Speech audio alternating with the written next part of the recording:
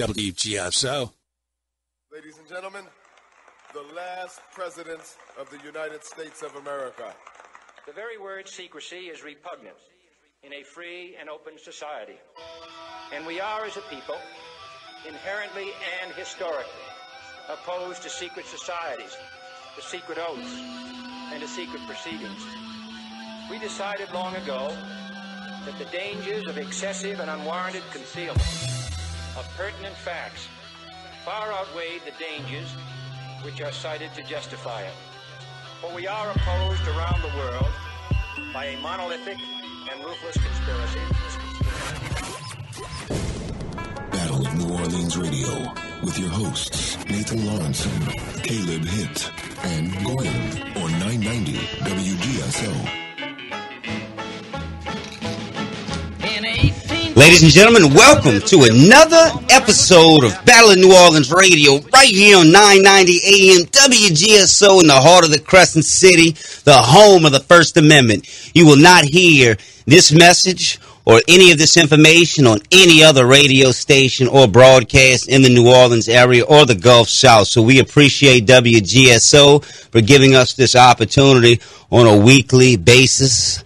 I'm your host, Nathan Lawrence, along with my terrific co-host, Mr. Goyam. Goyam. What's up, brother? Not much, man. Hanging in there. Yeah, th- th- that's right, man. That's, that's right. We're hanging in. You know, it's just every day, man. It's it's a uh, it's an information battle, information struggle. We see, you know, this this giant category twelve hurricane. We got, Yep. we got, we got, we got, uh, you know, ca- uh, Hurricane Irma Thomas Is it just fear, barreling is down it on fear mongering or is it reality? I mean, maybe a little bit of both. You know, is the storm gonna? I don't know. It might miss the whole mainland of Florida. We don't know. It's still It- three, four days away He, from from Florida. So I mean, I, I've seen video today on some of the islands. Of course, you know, you don't have much much room to run. I was going to go to the Virgin Islands next month. I don't know. Yeah, this time of year, you know. I, I might not be going, but you know, we see these storms. Look, I was watching last night the documentary called we- uh, "Weaponized Weather." Uh, it was a by, it was about Dr. Ben Livingston who helped you know weaponize the weather for the government in the '60s, '70s, and even before then. And he actually had his own cloud seeding uh, business, and he was you know, discussing how and showing how they can, you know, dissipate these giant storms. In in his in his guesstimation that a lot of times the government doesn't want to openly admit that they can do this because once they admit they can dissipate these storms and it opens up lawsuits for either not dissipating the storms or for dissipating the storms. So then it just opens up, you know, a bunch of lawyers into suing people, but the technology is there. Uh, by using silver iodide, they can uh, steer these storms and dissipate them and do many things. Uh, there's also the HAARP system, which is in two places in Alaska. One's near Anchorage. The other one, I I believe, is around Nome. Uh, and then the third one the United States has is in uh, Arecibo, Puerto Rico. This is these ionized uh, heaters. It, it heats up the uh, ionosphere, and they're able to create giant weather systems, highs, lows, and steer them. For anybody that, that thinks this is a joke, you need to you need to look this up. and then you got the NEXRAD technology. Yeah, that's the giant Doppler systems that are able to uh, control and manipulate uh, various highs and lows and weather currents. So, look, this is not this isn't a conspiracy theory. But look Uh, at look, Nathan. Look at the uh, agendas that come from this. I mean, absolutely. You, always look at the agenda. Yeah, you got FEMA now is going to get billions of dollars for this Houston recovery, so they're going to get lots of this uh, money. Y- You know, FEMA's a military operation. Most of FEMA's budget, budget is black budget and it's military. It's not even for disasters. Yeah, so that so you start the problem, you know, create the problem, create the solution. There, you got the FEMA, you got the Houston problem. Now you got FEMA coming in with lots of money, and, and everybody's going to applaud that. Like we got to do something. And look, there is, uh, you know, a lot of damage and, and human sacrifice and issues that uh, um, problems there with uh, property damage and whatnot. But then you got FEMA getting the money. Then we see in the uh, Virgin Islands now, Nathan. Oh, oh, no, yeah, they te- got the gun ban going on. Tell right now. everybody what the governor and the commander in chief, the more like the commander in thief, tell him what he's doing. And I'm not talking about Trump. I'm talking about the governor They're there. doing, they're doing a gun confiscation in, in advance of the storm over there in Puerto Rico. Hey, go ahead, during the break, post that letter that you sent me. Post that on our on our Facebook page so the listeners can see that. You know, this is they, a direct order. To turn in all your guns. I mean, if we you saw that. the We saw, that we saw that in, with Katrina here, uptown New Orleans. Certain parts of the neighbor uh, of New Orleans were being uh, Thirteen hundred weapons they yeah, confiscated. thirteen. That was yeah. I mean, a lot of people don't realize that down here, but They had foreign troops in New Orleans Yeah, kicking look- indoors. Okay, so we got the agendas. We got number one, FEMA gets a lot of money coming down the pipe. Okay, number two, from these, if you want to go with the conspiracy that this is controlled weather modified storms, and It we could see- be, it could not be, but they have the technology to do it. Either way, the agenda is being pushed through. They got the gun ban in Puerto Rico. That happened this week, guys. Open No, your eyes. The Virgin Islands. Okay. Oh, yeah. Oh, ago. yeah. Sorry. Virgin Islands. NOLA.com. Yeah, Check out. NOLA.com's even promoting that. Okay, then you have the FEMA money in the billions. They got this uh bankrolled there. You got the global warming, global carbon tax push because Ah. now now everyone's going to be. You saw what happened to Houston. You saw what happened to Global Miami. warming, global warming. Even, they even, canceled a football game. well, check this out. Even though there's there's earthquakes, not excuse me, not earthquakes. There's volcanoes that uh, shoot out gas that emit more carbon dioxide, one little burp, than uh, we all have used in our human his- history. One time. but you know they can't tax that, but they can tax your vehicle. And now we see. Like we reported a few weeks back, we had inside information from our good buddy, I'm not going to say who, that they were going to start taxing, dealing with the floodwaters. Now, a week ago, Mitch Landrieu announced they're going to start uh, bringing in, I, I'll have to pull up the specifics on it, they're going to start taxing on various waters uh, that are being, you know, caught for the flooding here in New Orleans. they so that's another- more Agenda 21 taxes. Yep, they had they had another fire today at the Yeah, sewage and water. Man, that's every day. I seen one the other day by my house. But look, before we before we, we go to our, our guest this next segment, let's go ahead and take this call. So he he's got a question for us. Our buddy Sid from Gentilly. We really appreciate uh, Sid listening and calling in, Sid. So look, go ahead uh, with your question or comment, brother. Well, my comment first is that y'all going to be on every week not, uh, w- w- your hours because uh, I can buy into a lot of what y'all saying about control and weather. I really believe our government is doing it, maybe on the verge of doing it, but. But I, I really believe that I can buy into what y'all saying. What are your hours and when would y'all be on? Hey Sid, we're going into our third year, and we're uh, we're on Wednesday nights from seven to nine. And if you want to hear the truth, the unadulterated truth, not this red, red, uh, blue, it's left, all right garbage. fault. Yeah, so it's just all Trump's. Trump did that. It, it- look, there's stuff behind the scenes. You got to realize, and that's what we're about. You know. Y- You know, Sid, Sid, in 1967 to 1974, uh, in the Ho Chi Minh Trail, Dr. Ben Livingston ran a project called Project uh, Operation Storm Fury, where they flooded the Ho Chi Minh Trail uh, and actually killed a lot of Vietnamese for for the Vietnam War. Um, so this is on record. Uh, you can look this up. Uh, I mean, th- th- he he ran more than 260 uh, operations by flying uh, into the eyes of hurricanes and actually dissipating and, and moving and controlling st- uh, storms with just a little small amounts of silver iodide. So the technology and capability is there. Go ahead. I, I, I can definitely buy into that. My, my question uh, is kind of confusing to me because uh, I, I, I, I'll be as fast as I can. I don't Go ahead. Because uh, Katrina, I had to leave my home, and I lost my home for Katrina. Okay. So I'm, I'm at the Park Esplanade apartment now since uh, 2006. Okay. So when I left for Katrina, me and my sister, we went with another couple. We had no hotel rooms or nothing like that. But we just drove out the city. Instead of heading west, we went northeast. We took that, uh, what's that, 65 or 60, I-69. We, we had the flow into Mississippi, drove through Hattiesburg, uh, McComb, Merid- not McComb, Meridian and that. And we wound up in Tuscaloosa, Alabama. So, so we we we, we, we gave them our credit cards and that for the room. We got the last two rooms.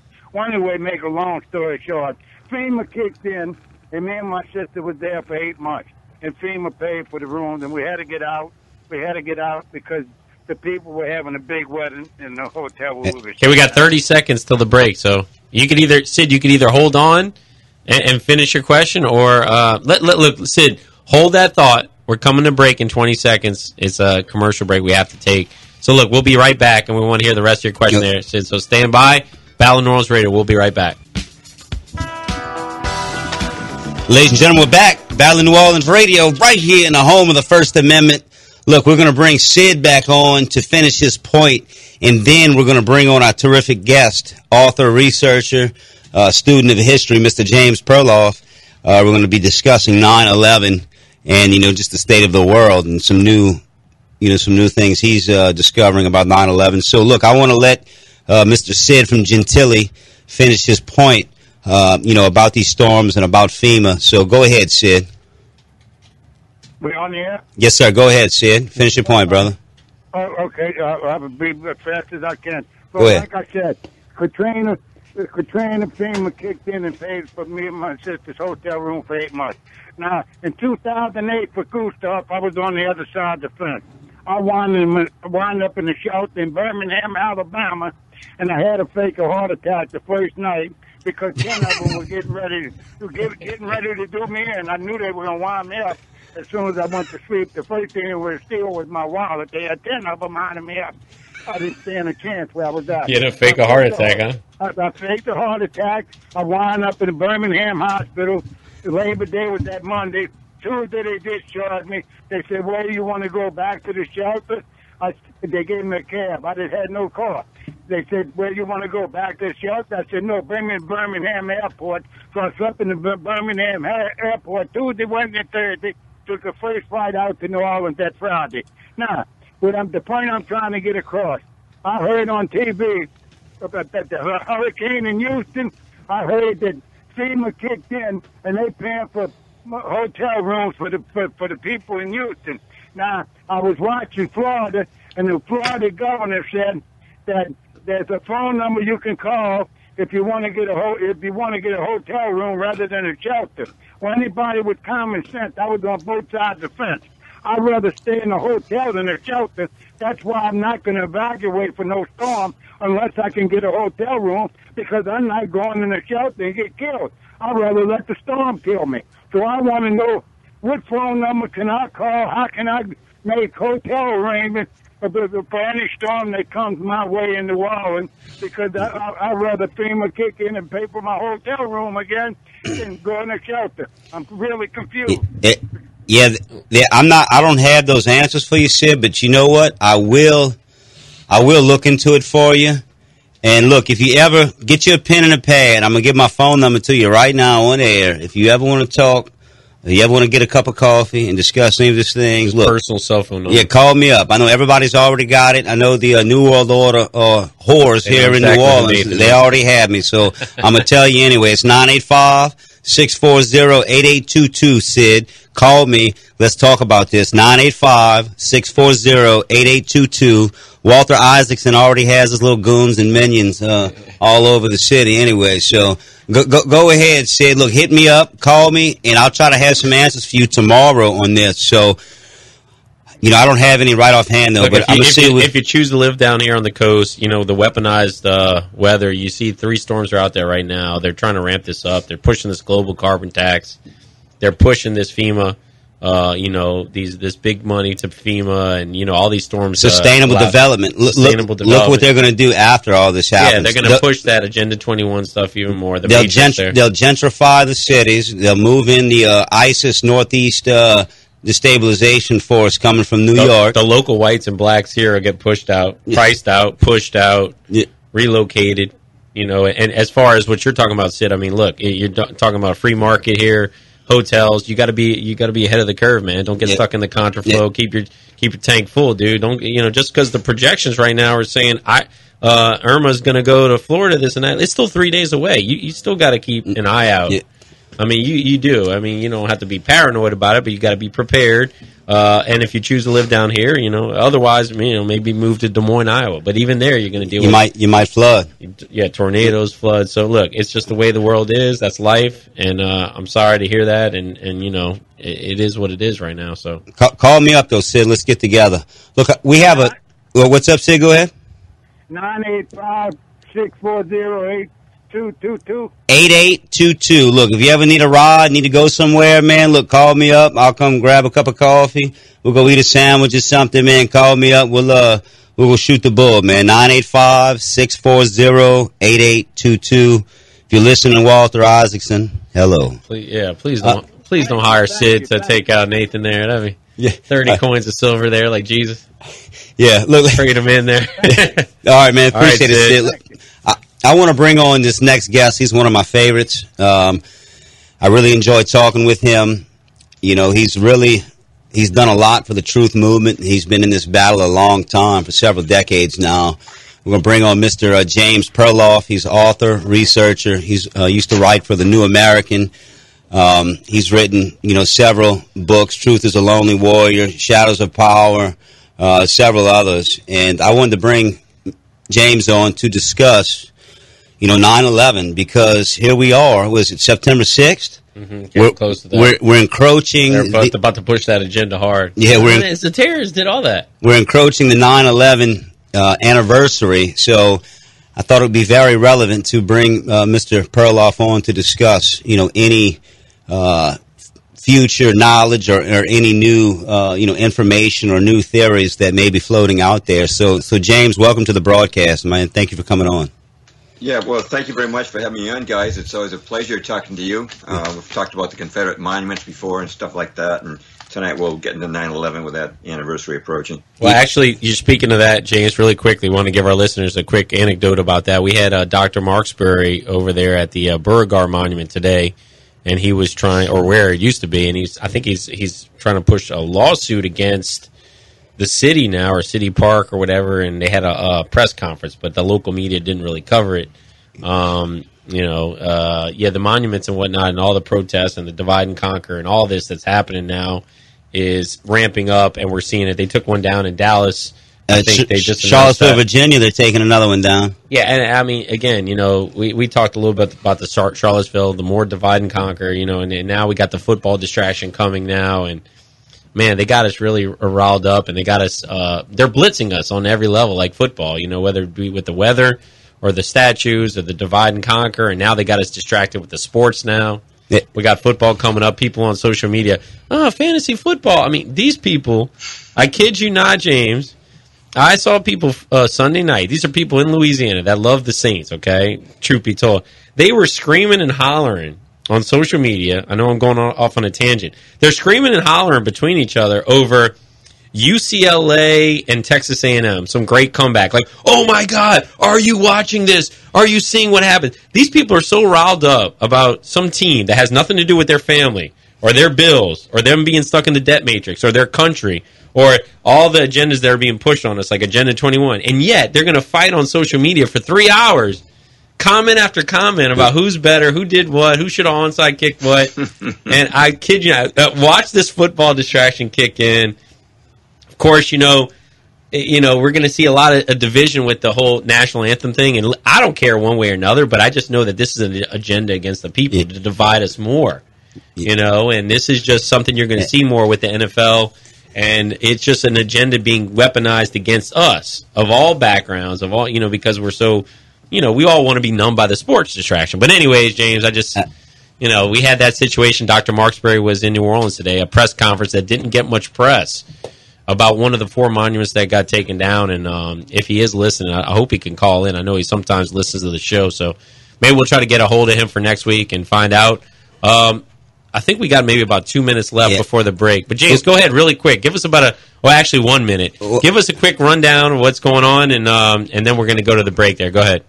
Well, so let me just use that minute to follow up uh, what you were saying. You know, that idea of distracting people with sports goes back more than 100 years. You know, the protocols of uh, Zion. I don't have the quote in front of me, but I could get it. But it, it talks about distracting people with the arts and sport uh, over 100 years ago. And, you know, that's published in Russia in 1903. And because that was the year of the first World Series, they just revived the Olympics. And, uh, you know, the sports season never ends. They keep adding more and more teams. I mean, there used to be six NHL teams, the hockey league. Right now they got over 30, I think. And they just keep uh, making more and more of it sports talk. It's just insanity. But you're absolutely right. Uh, they want people to have their minds off the issues, the real issues that count, and get them ramped up against Hey, the hold, hold that thought, James. We're going to break. Hold that Yeah. thought. Yeah, they want us to be a bunch of non, uh, numbless, mindless uh, drones out there. They can really control us and manipulate us. Battle New Orleans. We'll be right back.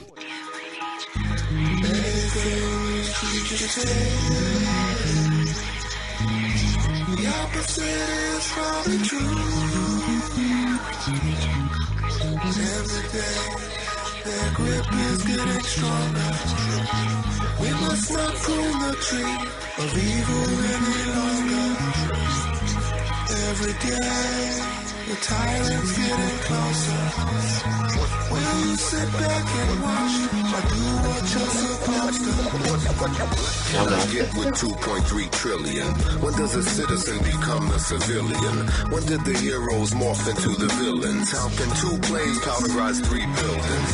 These are questions that could get you murked politically, socially, physically, put into the dirt. Many swear that there's some kind of conflict of interest within. The conflict depends upon what you're interested in. You can chant 9/11 was an inside job all day until you say the facade and pay closer attention to. Ladies and gentlemen, we're back. Battle New Orleans Radio. And that was our buddy Payday Monsanto under control there, talking about t- the 2.3 trillion that, that vanished uh, the day before by Mr. Dov Zakheim, uh, who was the Pentagon comptroller. And we're five days away from September 11th. We're going to get a lot of that media propaganda talking about how, you know, Afghanistan and, you know, uh, that's where the root of problems are. Red, white, and blue. Wrap yourself in Yeah, a flag, you know, apple Osama, pie. Osama bin Laden.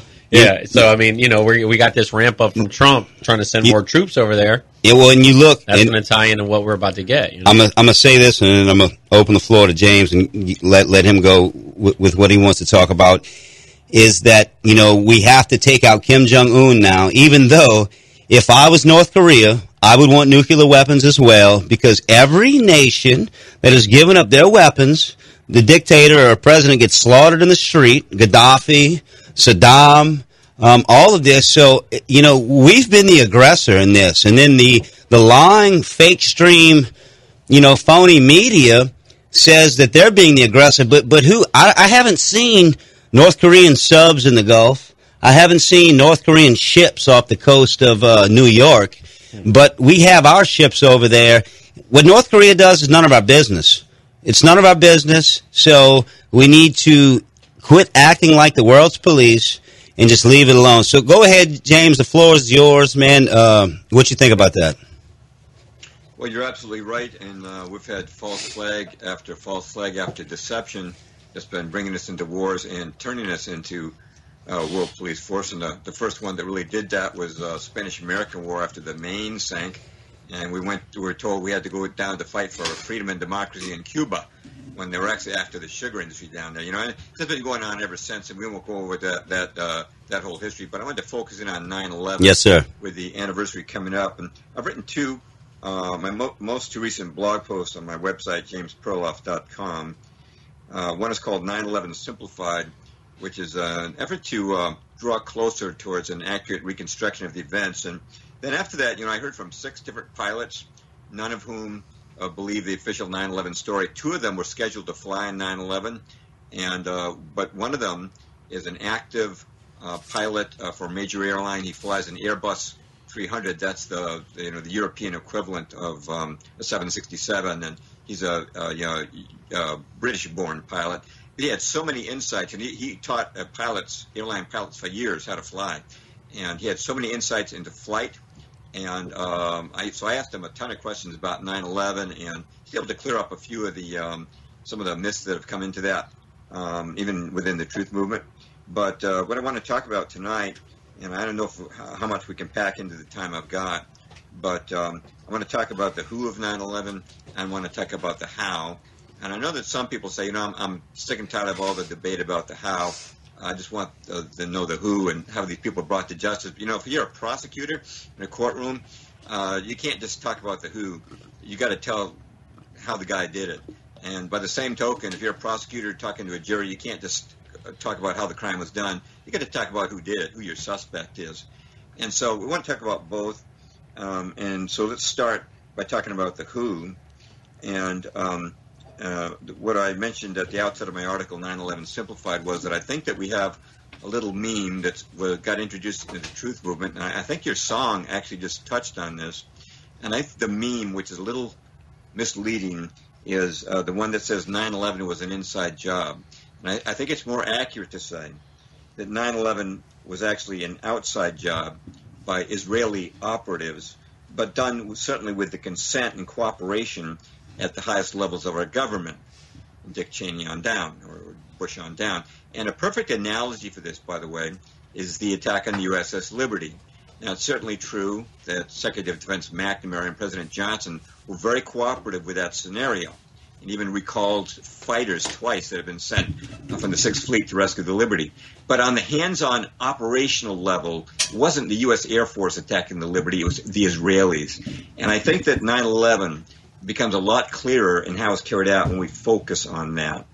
And so, uh, uh, what I'm going to do is um, I'm going to start talking about some of the.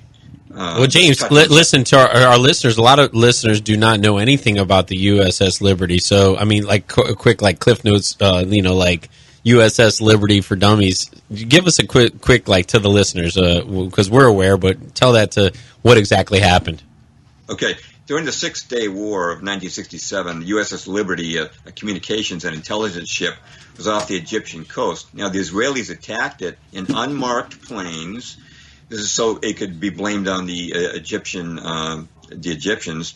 They uh, they passed over many times. They knew it was American. Was, you know had a cl- clear uh, American flag flying and uh, English markings, not Arabic markings. But they attacked it and uh, they they uh, strafed it, they napalmed it, they machine gunned the lifeboats, and then they sent in the torpedo boats. They fired five torpedoes, one of which hit the Liberty, and they killed 34 U.S. sailors and wounded more than 170. And uh, then there was a, a, um, a complete cover up of that incident. Uh, this is during the Six Day War. Uh, and Israel wanted to bring us into the war on their side by blaming this on the Egyptians. And their orders, and we know this from the air, from the uh, air, uh, ground to air communications, that, they knew it was an American ship, and the orders were to sink the U.S. Liberty with no trace left. But but fortunately, some of the guys patched together some of the uh, shot up communications equipment, got off a message to the Sixth Fleet, and um, so the Liberty was spared, but many died that day. Uh, but there was a complete cover up and uh, actually uh, John McCain's father in the Navy, who, or, who, who I'm sure under order from the White House, gave an order that the court of inquiry was only to last one week, when in fact they they uh, figured they needed at least six months to gather the evidence. But that has been suppressed for a long time. That was a false flag that failed.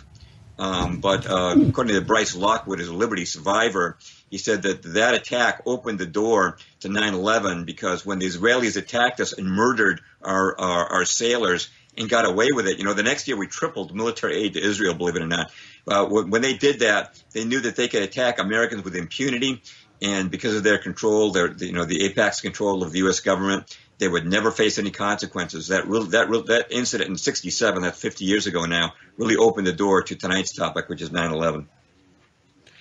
All right. Well, yeah, that was a great explanation there, and uh, a lot of our listeners are not aware of that. That's not something you hear in the mainstream media at all, and it's it's Right. our listeners need to go research that and uh, you know see for themselves the truth on that. So, I mean, you know, you see this ramp up of Trump is wants to send more troops to uh, Afghanistan. You know, September 11th coming. What do you see happening there? And oh, Well, go, uh, go ahead, of course- continue. he's uh he's going against his um his uh campaign uh, rhetoric when he said we should get out of Afghanistan, and as, as he did when he sent those 59 Tomahawk missiles to bomb Syria, when he told um, Obama in his tweets to stay out of Syria, stay home and um, fix America. Some people think that the uh, you know we've been in Afghanistan for 16 years now, and the, the idea of extend that's like four times longer than our involvement in World War II. And uh, the idea that you want to extend this war now, sending more troops is not going to win it. That's what he's claiming that we could win it if we send more troops. But some people do feel that the real reason for those troops is uh, to give um, an entree into a bigger role in Syria, where ISIS and uh, our, you know, our backed ISIS fighters are now losing big time, and that they've got some new false flag perhaps in the future, and they want to increase the role of the United States in that on that battlefield. Yeah, yeah. We didn't mean to get you off in the weeds, James. Go ahead with with you know your article uh, in discussing uh, 9/11 there. Right. Well, oh, like I said, we want to do the Who, and uh, and speaking of Israel, the, the best article I've ever seen that validates uh, Israel's involvement com- comprehensively and it's well written. It's the WikiSpooks post called 9/11 Israel Did It. But let's just take a little sampling. Uh, of course, you got the dancing Israelis. Uh, all right, hold, hold, hold that thought, James. I mean, these breaks are happening quick. When we come back, Okay. we're going to break. When we come back, we're gonna we're gonna come right back to the dancing Israelis. We're not gonna uh, get you sidetracked. Look, ladies and gentlemen, This is Battle New Orleans Radio. Whatever the real story of 9 11 is, the government lied. Are you really going to believe Henry Kissinger in his fake ass report, in his fake 9 11 Commission report? I mean, give me a break. I mean, Henry Kissinger is Mr. New World Order, and this is the same guy that uh, has been talking to Trump. Uh, in various times. So, look, Battle of New Orleans Radio, Mr. James Perloff. Go check him out, jamesperloff.com. We'll be right back. Ladies and gentlemen, we're back. Battle of New Orleans Radio. Our guest, Mr. James Perloff. Man, we're talking about 9-11. We're coming on to, we're coming into the, you know, the uh, anniversary. This will be the 16th anniversary of this uh, inside-outside job, you know, uh, perpetrated by forces that run our government, which isn't our government. We, we don't have a government. We're run by international interests, um, banking interests, military industrial complex interests, uh, you name it. So that's who runs us. And they worked with the Mossad and the Saudis to, you know, And our- perpetrate and all our this. CIA, yeah. Well, yeah, they all work together, CIA, all of that. So, James, you were just discussing the dancing Israelis. Go ahead. Hey, James, you there? Sorry about that. I Had my mute uh, on. Okay, there we go. All right. Uh, well, starting to talk about uh, Israeli involvement, and of course, uh, among the most famous is the dancing Israelis. They were uh, caught filming the event and celebrating and high fiving each other. And of course, they were allowed to go home uh, to Israel after a couple of months, and that was thanks to Michael Chertoff being placed in the uh, Justice Department in charge of the uh, investigation of 9/11. Hey, James, James, not to cut you up, but you know, the dancing Israelis, they were all working for urban moving systems, and on some of their, on one of their vans, you know, they found explosives in their vans. They found, you know, Palestinian outfits.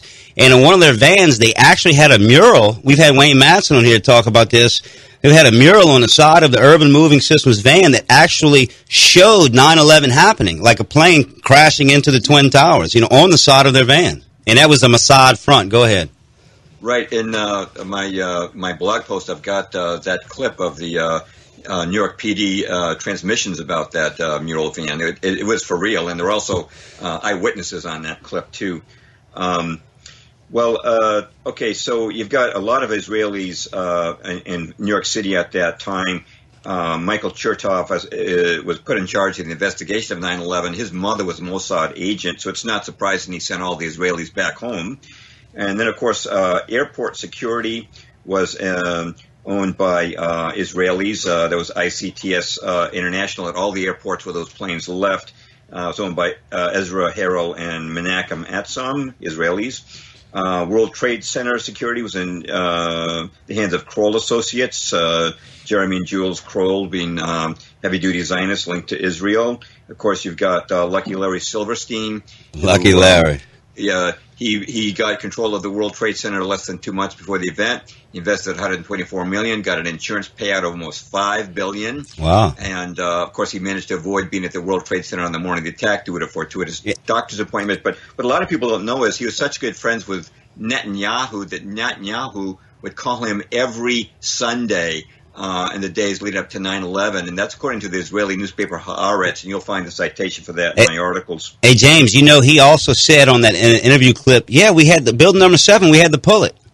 Oh yeah, that's uh, that's uh, one more uh, you know uh, nail in the uh, evidence coffin because you've got Zim Navigational, the world's ninth largest um, um, uh, navigation uh, company, um, which uh, was in the World Trade Center uh, for decades, and then one week before 9/11, they decided to pull out, uh, move to Hmm. another uh, location.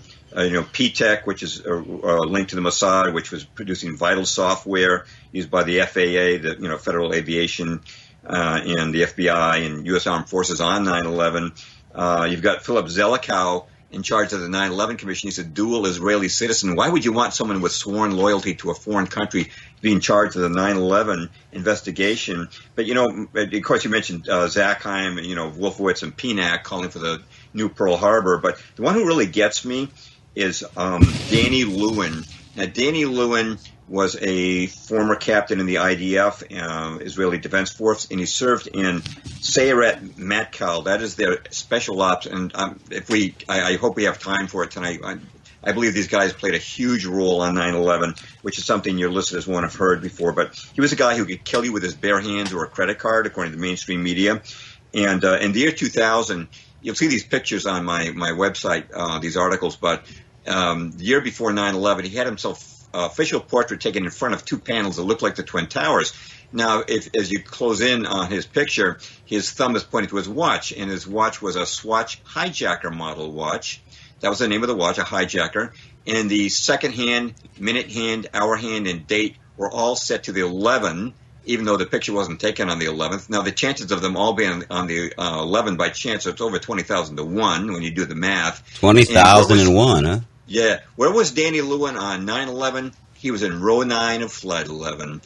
And um, that's just a sampling of the evidence you'll, you'll find in that WikiSpooks article I mentioned called uh, 9 11 Israel Did It. And I'll our listeners, how can our listeners see that. James? James, uh, how, how can our listeners see that again uh, on your? Uh, by going to my post 9/11 simplified, it's right at the early part of the post. They can Yeah. see the this four photographs, including the the ad from Swatch Watch with its hijacker model watch that he's wearing.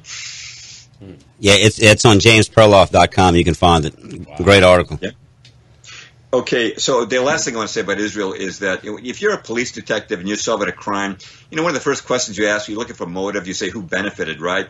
You know, did somebody get insurance from this murder, et cetera, right? Who benefited from 9/11? Did the American people benefit? No. We've been fighting, spending trillions of dollars and losing thousands of lives in these unnecessary wars, and we've got a police state. Did the Muslims benefit? No. The uh, uh, Islam in the Middle East has been turned into chaos with Libya, Afghanistan, Iraq, now bombing Syria. It's in chaos, man. The only beneficiary is Israel. They've sat back and watched us knock off their enemies one by one in fulfillment of what they call the Yinon Plan or the Greater Israel Plan. If people want to read about that, I would go to um, the article called uh, Greater Israel Project on uh, Global Research. That is the best summary I've seen of that. Yeah, they're a great that, That kind of summarizes Israel's involvement for me. Hey James, James, before you go any further, for, for all the listeners out there that have really bought into, you know, that are Christian Zionists, can you, you know, can you dispel? Because you know, I, we we were called anti-Semitic a couple of weeks ago for pointing this out. Can you dispel anybody that'll call up and say, "Oh, you're an anti-Semite"? And James, listen, I have something else to add to that. This is Goyam, you know, and we got about a minute and a half, so we want to get your full response on this maybe after the break. You know, we listen to the radio in, in America, New Orleans, and we got a call coming in now, 504-556-9696 if you want to talk to James. But we listen to talk radio, we listen to the mass media, uh, newspapers and whatnot, and people will say or call in the radio, talk radio, and they'll say stuff like, quote unquote, you know, Muslims are the root of all of our problems, and, and Islam is is the the biggest issue, and we gotta we gotta extinguish it, we gotta exterminate it, we gotta terminate it.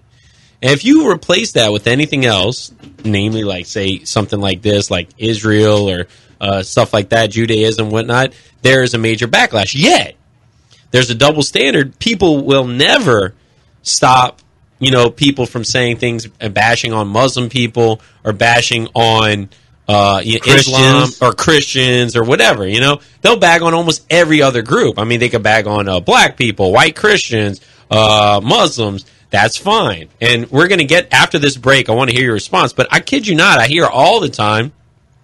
No one ever gets hung up on. No one ever gets muted. No one, no radio shows ever get shut down. But people say all the time on the air, Muslims are the root of all of our problems. They say it on social media. You bring up Zionist or the J word, Yeah, I mean, you can it- forget about it. And yeah, and so I mean, the double standard. So anybody listening who's trying to report us or trying to mark notes down, you got to look in the mirror. I mean, you're you you're not writing anything down about this uh, atrocity there, where people are allowed to just say vile things about the Muslim community. Uh, you know, these people are being played like a pawn for this Kalergi plan, this worldwide relocation plan. So, anyways, look, we're coming to the break. We want to get Mr. Perloff's full response to that. And we also have a call we're going to get to after the break. And anyone else wants to call and talk to Mr. Perloff live on Battle New Orleans Radio, call us up 504 556 9696 and you could talk to him live. Go ahead, Nathan. You want to finish out the break? No, no, that, that that's it, man. Uh, great show, man. And, and we want to hear your response, James, and then we're going to take a call or two, and uh, we'll be right back. Battle of New Orleans Radio.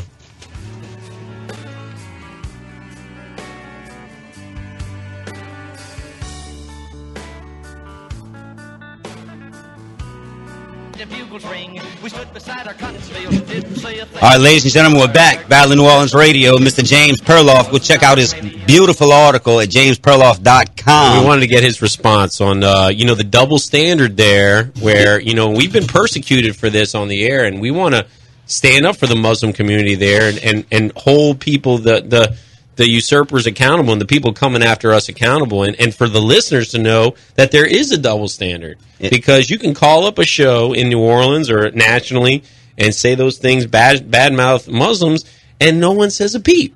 It's okay. No one gets any reprimand for that. So, Mr. Perloff, what's your take on that?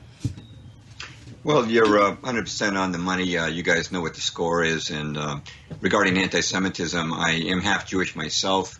Um, Well, our there you go. family name was Perlovsky um, back in, in Russia. Uh, my uh, uh, father's uh, parents were, uh, were uh, Russian Jews, immigrated to this country in 1905, uh, time one of the pogroms.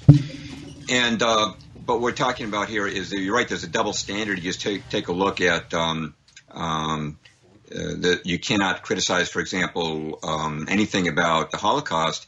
Uh, you know, Ursula Haverbeck is an 87 year old woman who said to her knowledge that uh, Auschwitz was a work camp, not an ex- extermination camp. She's now in prison in Germany for saying that. Uh, David Irving uh, questioned gas chambers. He was sent to prison in uh, Austria. Yet, on the other hand, Walter Duranty denied the Holodomor, the uh, the Ukrainian Holocaust. He was given a Pulitzer Prize. Now, there's a double standard. You can you can deny the Holodomor or the Armenian genocide or any of the genocide. There's only one his, uh, event in history that you cannot question, and people should be asking why that is. But again, that that diverts us from our topic. But you're absolutely right. Uh, about the double standard. This has nothing to do with anti-Semitism. Uh, I have uh, had many Jewish friends as well as being half Jewish, and many uh, are not involved in any kind of plot. But there definitely is uh, Israel definitely is a Rothschild proxy state, and they've been involved in many false flag, flag attacks disguised as Arabs. That includes the attack on um, the King David Hotel in 1946, the Lavon affair in 54 the USS Liberty, which we just mentioned in 67, the La Belle Discotheque in 86, which led uh, Reagan to bomb Libya through a Mossad deception right up to 9-11 and beyond. So uh, this is standard operating procedure for the Mossad, and we're just talking about facts here, nothing to do with racial discrimination of any kind. Yeah, um, yeah, that's uh, you know great clarification there, and uh, you know, and that's what our listeners want need to know. You know, so look, let's go right to the calls here. Uh, with no further ado, what do we got here? We got Tony and Metairie. Go ahead. You're on the air with Mr. Perloff. Go ahead. Oh, hello, guys. Um, you know, I wanted to throw out to you something. I've been thinking about this thing about the the, the uh, upcoming uh, tricentennial and all, and uh, and the, the conversation that you know that uh, about the Andrew Jackson statue, and I kept thinking about that and why Mitch didn't want to promote the taking down of the Andrew Jackson statue that uh, that I've heard of. And you know, about three or four years ago, I remember I perused around on the New Orleans Tourist and Convention Bureau website, and they used to have a lot of stuff back then that they were talking about about the upcoming tricentennial. And one of the things was is that they're supposed to do, and it's funny that you all just played that song "Battle in New Orleans," because uh, according to them, th- about three years ago, England is going to send an armada of these wooden ships that have been redone with a bunch of people. I think maybe up to a thousand reenactment soldiers, and they're supposed to do a battle reenactment uh, at the Chalmette battlefield. I believe they're going to do this uh, and redo it. Well, I started thinking, well, gee, maybe that's why he don't want to uh, defame Andrew Jackson or let that happen because he's the key figure in the battle in New Orleans. Yeah, he he said, we, well, yeah, that, that's a great point, Tony. And uh, he said he wasn't going to, he didn't want that to be his legacy as well. So you know that, that I, I don't know, man. I think he Mitch Landrieu has done enough to divide the people. You know, there, there's there's entities behind him coming from the Aspen Institute that are uh, implementing all of this garbage. So look, we appreciate your call. Uh, we you know we got to get back to our to our guests, and we're discussing not. Well, go ahead. I just was going to tell you that when, when in looking at the people that are running for the city of New Orleans, instead of asking if they're going to fix the pumps, the potholes, and all the crime, I think that a set of questions should be: Are you going to? Where do you stand on the master plan of the city of New Orleans? Matt, all of the agendas of the New World Order, the UN Agenda 2031. Those are the things we need to find out. Exactly, Are Tony. to all these uh, these secular and uh, these uh, charitable endowments that do nothing but What- try to take what- over what's- capitalism and hurt the city. Well, Tony, I, I'll say this, and we got to run to the next call so we can get back to uh, Mr. Uh, Perloff's article. But look, Latoya Cantrell is an Asp- 2014 Aspen Institute graduate, so enough said. So anybody the- votes she's for her, one. anybody votes for her, you're voting for the New World Order. Thank you, Tony. Appreciate it. Uh, let's go to Joseph uh, Metairie. Look, And, and you- Joseph, look, let me say something for Mr. Perloff, so he's got some clarification. Mr. Perloff, what's happening in our city is this. You know, Aspen Institute, Agenda 21, we were talking during the break with the producer about how they take these inner cities and they let the crime get out of control. They let the situation get out of control. Um, in New Orleans, not only with the crime, but they take the monuments down, which creates more divide and conquer. They got the crime scaring both the white and black community out. They have uh, the pumps not working. August 5th, we had a, a little minor flood here that could have easily been handled. They didn't turn the pumps on. They say the pumps since Katrina have not been fixed. We had all billions of FEMA dollars here. hundreds of billions. Yeah, and and it's uh, nothing is working functioning. There's no transparency on anything. And Mitch Landrieu, who wants the job at the Aspen Institute, he was actually in Aspen when this flood happened. Um, who works for Walt Isaacson, Agenda 21. He's the head of the Aspen Institute now, who lives in New Orleans. Uh, you see all this stuff, and you see them create these scenarios in these cities like Detroit, St. Louis, Baltimore, New Orleans, uh, where they basically uh, suppress the, the quality of life, they usurp money and scare people out, and then they restructure this sustainable development permanently on their terms. Because the way they see it, they're fine for uh, middle class whites or blacks to leave. Uh, you know, because then they could bring in the They- more controllable. They bring in the subsidized change at that point to like Walmart, who is subsidized by the government, and they just drive out the mom and pop business. But look, let's go to the call because Yeah, we only got Joseph and Metairie. Go ahead. Uh, you got a question for Mr. Perloff pertaining to 9/11?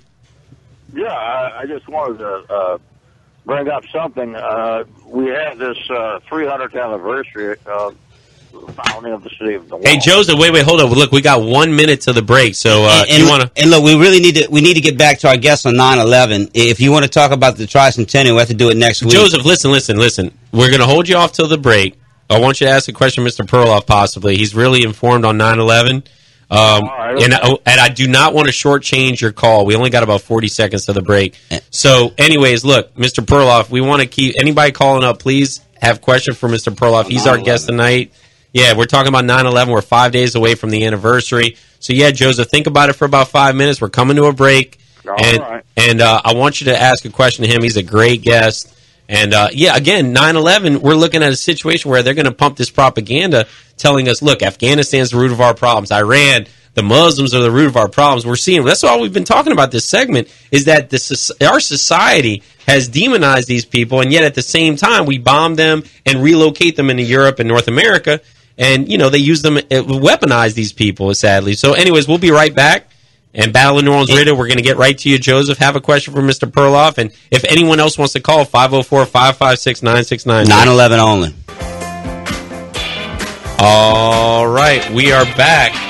Battle of New Orleans Radio. Look, we're going to go to Joseph. Look, we got a couple callers. We're going to try to make it quick, Joseph. You have a question for Mr. Perloff. Go ahead. Hello? Hello? Hey, are you there, Joseph? Yeah, am I on? Yeah, you're on. You have you have a question for Mr. Perloff? Well, uh, the, the biggest question is I'm hoping that he might have some insight as to the truth on it. Uh, supposedly on 9/11, uh, there was only one Jewish life lost in the World Trade Center when the when the planes attacked from um, you know wherever they came from, and uh, there were just two of them, two of the planes as far as we know, and. Uh, in theory, uh, or in truth, uh, s- somewhere in between, right? There were hundreds of Jewish lives lost in the World Trade Center because a lot of Jewish people would, in New York worked there. But uh, I've heard that that's not true. They got word from somewhere, somehow, before that tho- those planes flew in, that uh, not to go there and uh, only one Jewish life was lost. And so, what is really the truth behind that story? All right, thank you for the question. Uh, go ahead, Mr. Perloff. Well, I do know that the Israeli instant messaging company Odigo, its employees received a message not to be in the World Trade Center. I believe it was two hours before the attack. I don't know um, how many Jews would have been lost. I have read, I've never vetted this. I've read uh, that um, there were some warnings that went out amongst Jewish people, but you know, there's uh, people uh, who are Jewish. A lot of them are assimilated Americans. They don't go to synagogue. They're not necessarily connected to the Jewish world. I would expect Correct. there probably was more than one, given the financial um, character of the World Trade Center. But as far as I don't think there were any Israelis in the building that day. Yeah, yeah, no, no doubt. Yeah, go ahead, James. I know we've gotten off in the weeds. We try to give the callers a chance because they call up and they listen every week. So, look, we got 40 minutes with you, you know, with commercials. Go ahead, man. Get back to your article and let's really get in where you left off. Okay, well, I'm gonna have to do like a hundred yard dash. I know, I'm sorry. A lot of things out, uh, but uh, the, we, we talked about the who, and I wanted to talk about the how, and specifically three uh, things: how the towers were destroyed, what initially hit the towers, and uh, what happened to the original planes and passengers. And if we cover this credibly in the time we've got, it'll be a, a small. Uh, miracle on a human scale. But as far as how the towers were destroyed, I'm well aware of the nanothermite and directed energy weapons. But I do believe, after consulting with people who are experts on nuclear weapons, we're dealing with two suitcase nukes. Uh, located in the service pits of Elevator 50. This is the only elevator that ran. The, uh, it was in the middle of the building of each twin tower. Only elevator that ran the full distance of e- each tower. And uh, the service pits were the only for that elevator, the only ones that were dug into the uh, bedrock underneath, which meant it would contain the sideways and downward blast of a nuke, uh, shooting it upwards. So we're talking about suitcase nukes small enough to put into a backpack. I'm going to give you my top 10 reasons why this was a nuclear event. And this is real quick. You'll have to see my articles for citations in support of this, okay? Number one, first responders, what type type of cancer do they get more than any other in, in comparison to its expected rate? It's thyroid cancer. Now that's a signature of an atomic bomb, which gives off iodine 131, which embeds in the thyroid. Number two, the uh, U.S. Geological Survey uh, examined World Trade Center dust samples, and they found um, uranium, strontium, thorium, cadmium, and other elements that can only come from nuclear fission. Number three, all that molten steel and those fires that lasted for over three months at the World Trade Center.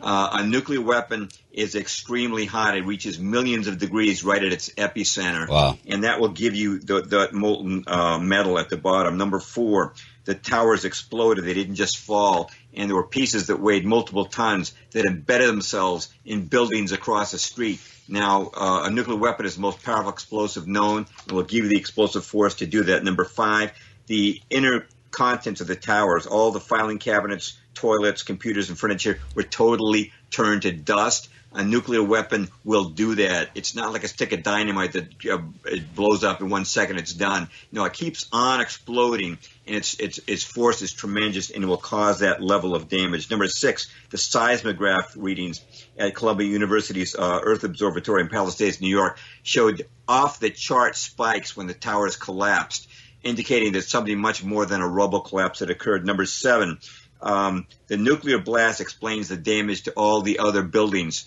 Uh, this is important. Uh, buildings five, building five was totally ablaze. Building seven was totally ablaze. Building six was cratered out. And why was that? This didn't happen before the towers uh, demolished it. You would have seen smoke plumes come from those buildings. Uh, what people don't know is that underground, the World Trade Center was all interconnected, not only by a sewer system, by a, by a water drainage system that connected to the lowest point for flooding, which is the uh, service pits of elevator 50 in each building. And when that nuke explosion went off, following the path of least resistance upwards in the towers, it also followed the path of least resistance underground and into the other buildings, creating an upward explosion and high heat, causing these fires.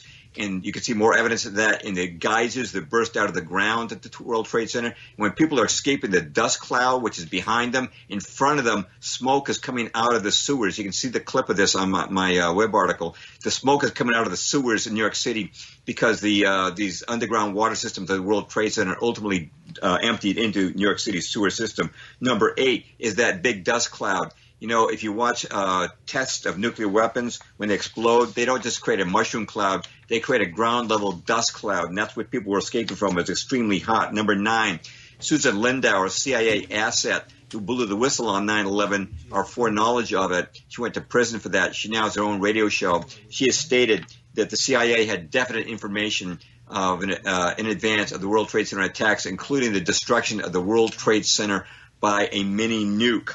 And uh, no, finally, number 10, Benjamin Netanyahu himself. And it wrote a book in 1995 called Fighting Terrorism. And I'm going to quote him. He said, um, such groups, referring to Islamic terror groups, nullify the need to have air power intercontinental missiles.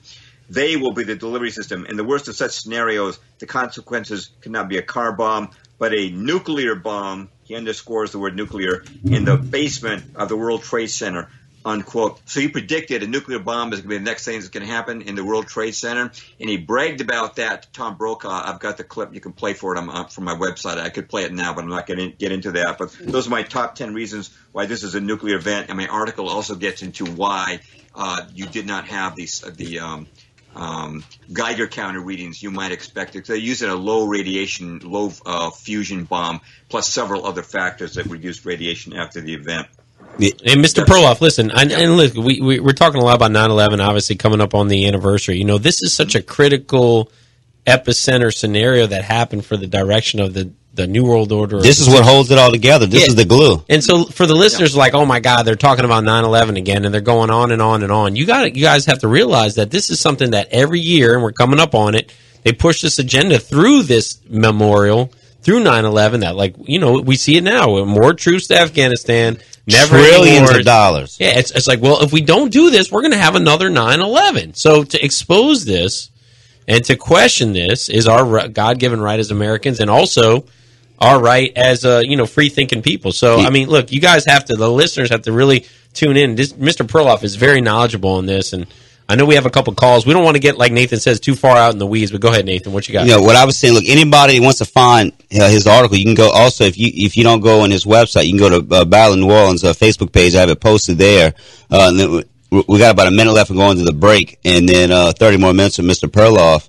You know, it's just astounding. This is the glue that holds it all together. And look, following orders and following a narrative put out by a bunch of liars does not make you a patriot. I know it's hard to swallow for a lot of the military and, and moms and dads that have lost their sons and daughters uh, in these phony, fraudulent wars. It's a hard, hard pill to swallow. But look, these wars are for a corporate, international interest. They are not for the interest of the American people. And I know it's a hard, hard pill to swallow. It's a, it's a tough one, man. If, if, you know, we had entities coming into our borders, you know, a country that was going to kill us, I would be all for, uh, picking up arms myself and, and going to war. But, you know, this is many a facet, uh, many faceted, uh, many narrative, uh, uh, based war now. Look, Netanyahu, we got to go to break. Netanyahu stated that, you know, uh, Israel would benefit greatly from 9/11. So look, when we come back, more from Mr. Perloff, another 30 minutes, he can get back uh, into discussing his article.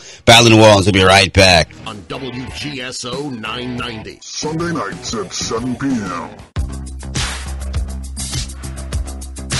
Ladies and gentlemen, we're back. Battle of New Orleans. I want to go Mr. Perloff, go right to you, James. We want to step out of the way and remove our our shelf because we like to get in the way and uh, d- deter uh, our guests because we, we do talk have too some much. calls, but we're going to go let Mr. Perloff talk for a little bit, then we're going to get to our calls. So stay patient, callers. We're gonna get to you in a 9/11 little and, and to his article only. Yeah, when we do get to the callers, we want to keep it directly to Mr. Perloff regarding 9/11 and the situation there. We'll so go you- ahead, Mr. Perloff.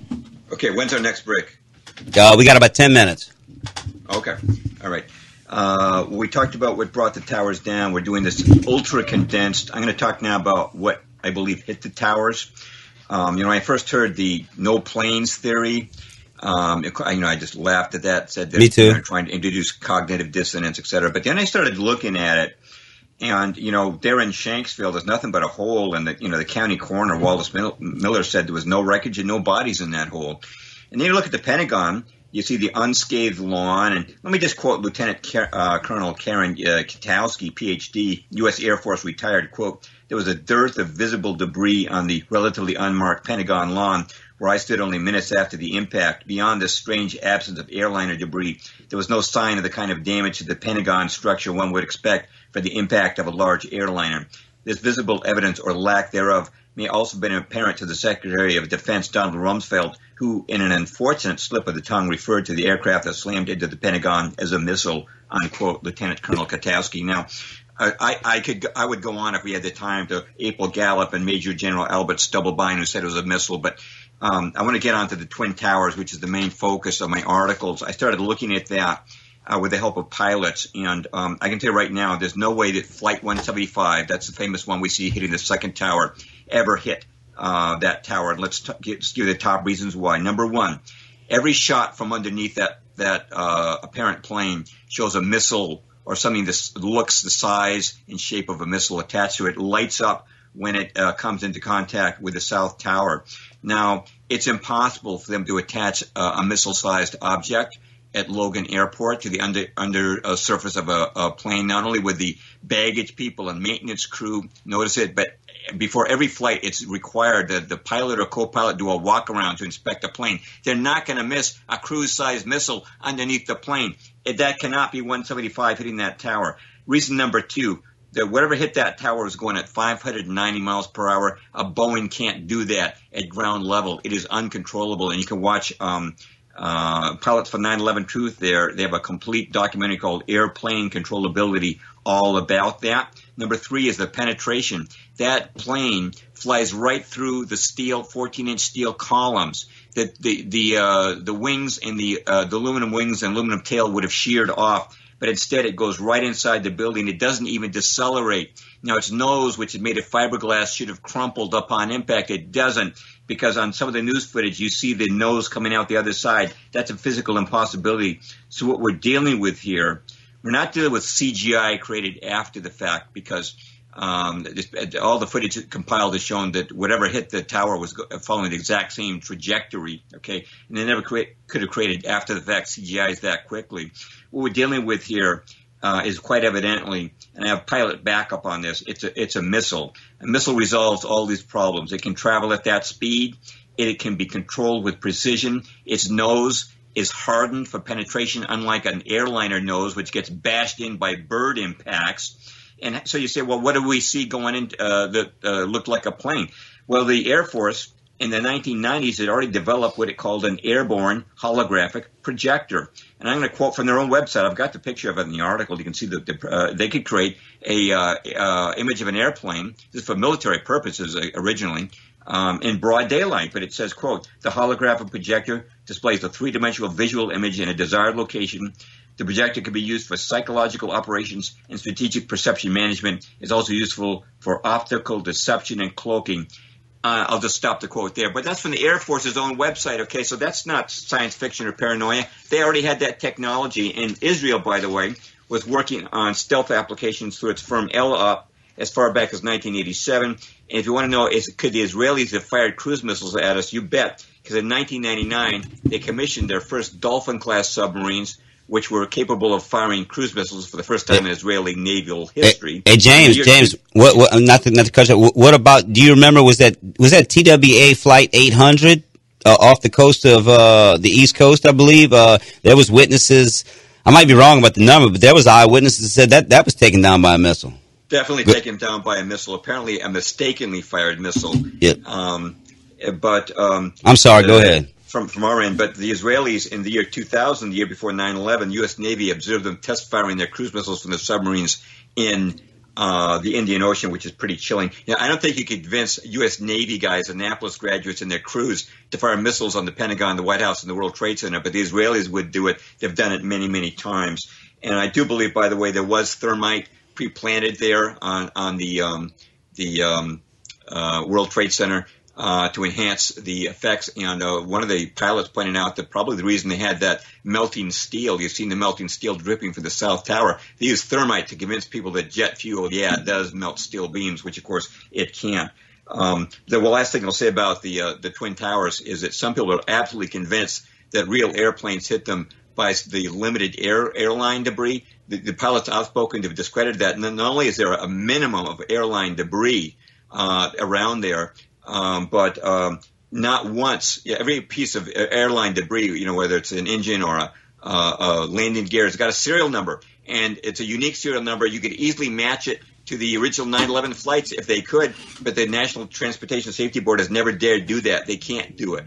And uh, if you want to know why uh, they had those urban moving system trucks out, like the panel truck, the mural truck, they're probably out there, you know, uh, moving companies uh, transport large objects. They got dollies and strong guys, and that's probably what they were doing there in the World Trade Center area on uh, 9/11. Besides planning the small stuff like the, the unburned hijacker passport, but that's it for for what hit the towers. It, yeah, I, I'm starting to believe that no planes hit th- as well. The more you watch it, there's no way that a plane is going to go through, you know, plane a tin can, aluminum can is going to go through the side of this steel uh, structure that that was just built so uh, well. Uh, the last thing I want to get into, and we'll see how much time we have, is uh, what happened to the planes and passengers. And I'm going to give you a take that um, most people will never have heard before. Um, but we'll, we'll see how far I can go here before we hit a break or a call. Um, uh, you know that there's a lot of planted evidence beforehand. You know, the, the guys who went to the bars in, in Florida, the sports bars, and paid for lap dances and argued about the bills and left behind copies of their credit card receipts and their driver's licenses and their business cards and left the Koran at the bar. The You know, fake the Koran. hijackers. Yeah, the alleged Islamic hijackers, and of course they left the Koran and a and a flight training manual and a at Logan Airport in, in the parking lot in a car, and of course Muhammad uh, Atta's luggage didn't make it onto Flight 11, and that oh so conveniently had all the names of the hijackers on there. But here's what happens, okay? In the Truth Movement, we uh, we uh, found out eventually that half those hijackers named by the FBI were alive Yeah. and that these hi- alleged hijackers had no flying skill and never been in a Boeing before. And so we conclude that there was no hijacking. We say it must have been an electronic hijack. And then we would start to turn our wrath on the passengers and the flight attendants, say those guys were working with the CIA and they faked those phone calls and, and they got paid off. Or uh, we say that they got bumped off by the CIA and the CIA used voice morphing, etc. Well, gonna, I have a different take on that which is that they were real hijackers, but not the alleged Muslims. It was Danny Lewin's group. It was their elite special ops, the Israeli special ops, the Sayeret Matkal. And these guys knew exactly how to fly Boeing. Israel's got plenty of 757 and 767 in its El Al fleet. They'd flown as jump seaters. They'd flown as co-pilots. They knew all those controls, and they knew exactly how to get into the co- into the cockpit. You know how they got into the cockpit? How's that? They got the key. You know, Yeah.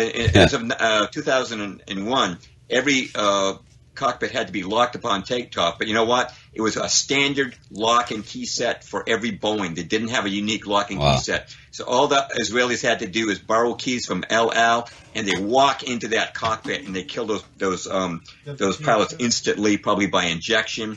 They're in the cockpit. They lock the door behind them. They're now in control, and they know how to fly that thing. But they're not about to commit suicide. That is not their mission. Their mission is to uh, is to fake the hijacking.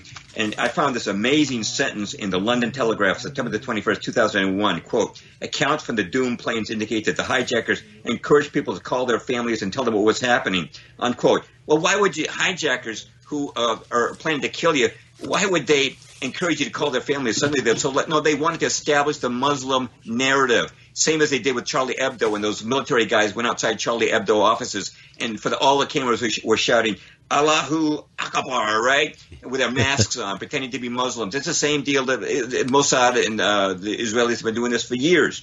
Okay, so um, that raises the question of what happened to the planes. And um, my uh, the co-producer of my movie Shattering, Marilyn Great movie. was a was a was a, was a, a career flight attendant, and she asked the question, why do they insist on only using planes bound for California? Why? It's because they wanted a lot of fuel to make their getaway. Good- These guys took these planes across the Atlantic. What's right next to the Pentagon and the World Trade Center and the White House? The Atlantic. They went straight out into the Atlantic. And, and they cut off the passenger phone calls by by sw- pushing a button in the cockpit. Hold, hold that, hold that, hold that thought. We're coming to the break. What last segment? We're coming up after this with Mr. Perloff, JamesPerloff.com. Unbelievable information. Please read this article. We'll be right back. All right, ladies and gentlemen, we're back. Battle of New Orleans Radio, Mr. James Perloff. You can check out this great article at jamesperloff.com. 9/11 simplified. Let, let's let's knock out these uh, calls we got, really we got, we got, yeah, we can take one call. Yeah, let's go to Rick in Arizona. Yeah, one one minute. Go ahead, Rick. Go ahead, Rick. You got a question for Mr. Perloff? The only thing that was real on 9/11 was the people in the media lying to you. I don't think anybody died. I don't think there's any planes. It answers all the questions. It's just a TV show. There's not one piece of scrap metal sold on the internet from any of those planes anywhere in the United States. A piece of metal from the Titanic is worth millions, but is there anything on the black market? they scrapped it to China. Yeah, They sent it overseas to be The scrapped. plane, anything. There's the whole thing is fake, except for the people lying to you. Uh, Just think about it. Nobody died because there was nobody in the nobody in the towers. It took three years to wire those buildings, and if you think the project engineer is going to let you fly planes into it, I don't think so because you're going to destroy the sequence of the explosions in that building. Everything Yeah. went perfect, man. First time. Hey, hey, hey, Rick, that's Thanks a that- that's a great point. Look, Rick, call us back next week, man. Sorry, took- we didn't have much time. Yeah, call us back next week, man. Uh, Mr. Perloff, what's your take on his comment? Um, well, he's absolutely right about uh, there, uh, none of those uh, plane parts turned up. And again, I, as we were saying, they uh, couldn't uh, match a serial number. If they could, they would have debunked the whole 9/11 truth movement. But they don't dare because those uh, the debris, limited uh, airplane debris, did not come from flights 175 and 11 at the Twin Towers. I do believe people died though in those towers, and I do believe uh, the people on the planes were real people uh, who did die. Uh, none of them has uh, come forward, and they would never take a, a chance on somebody on one of those planes having remorse. I mean, I've, I, I've talked to people who had friends who were lost on those flights, and uh, these are just regular folk, you know, um, people I know from church and so forth.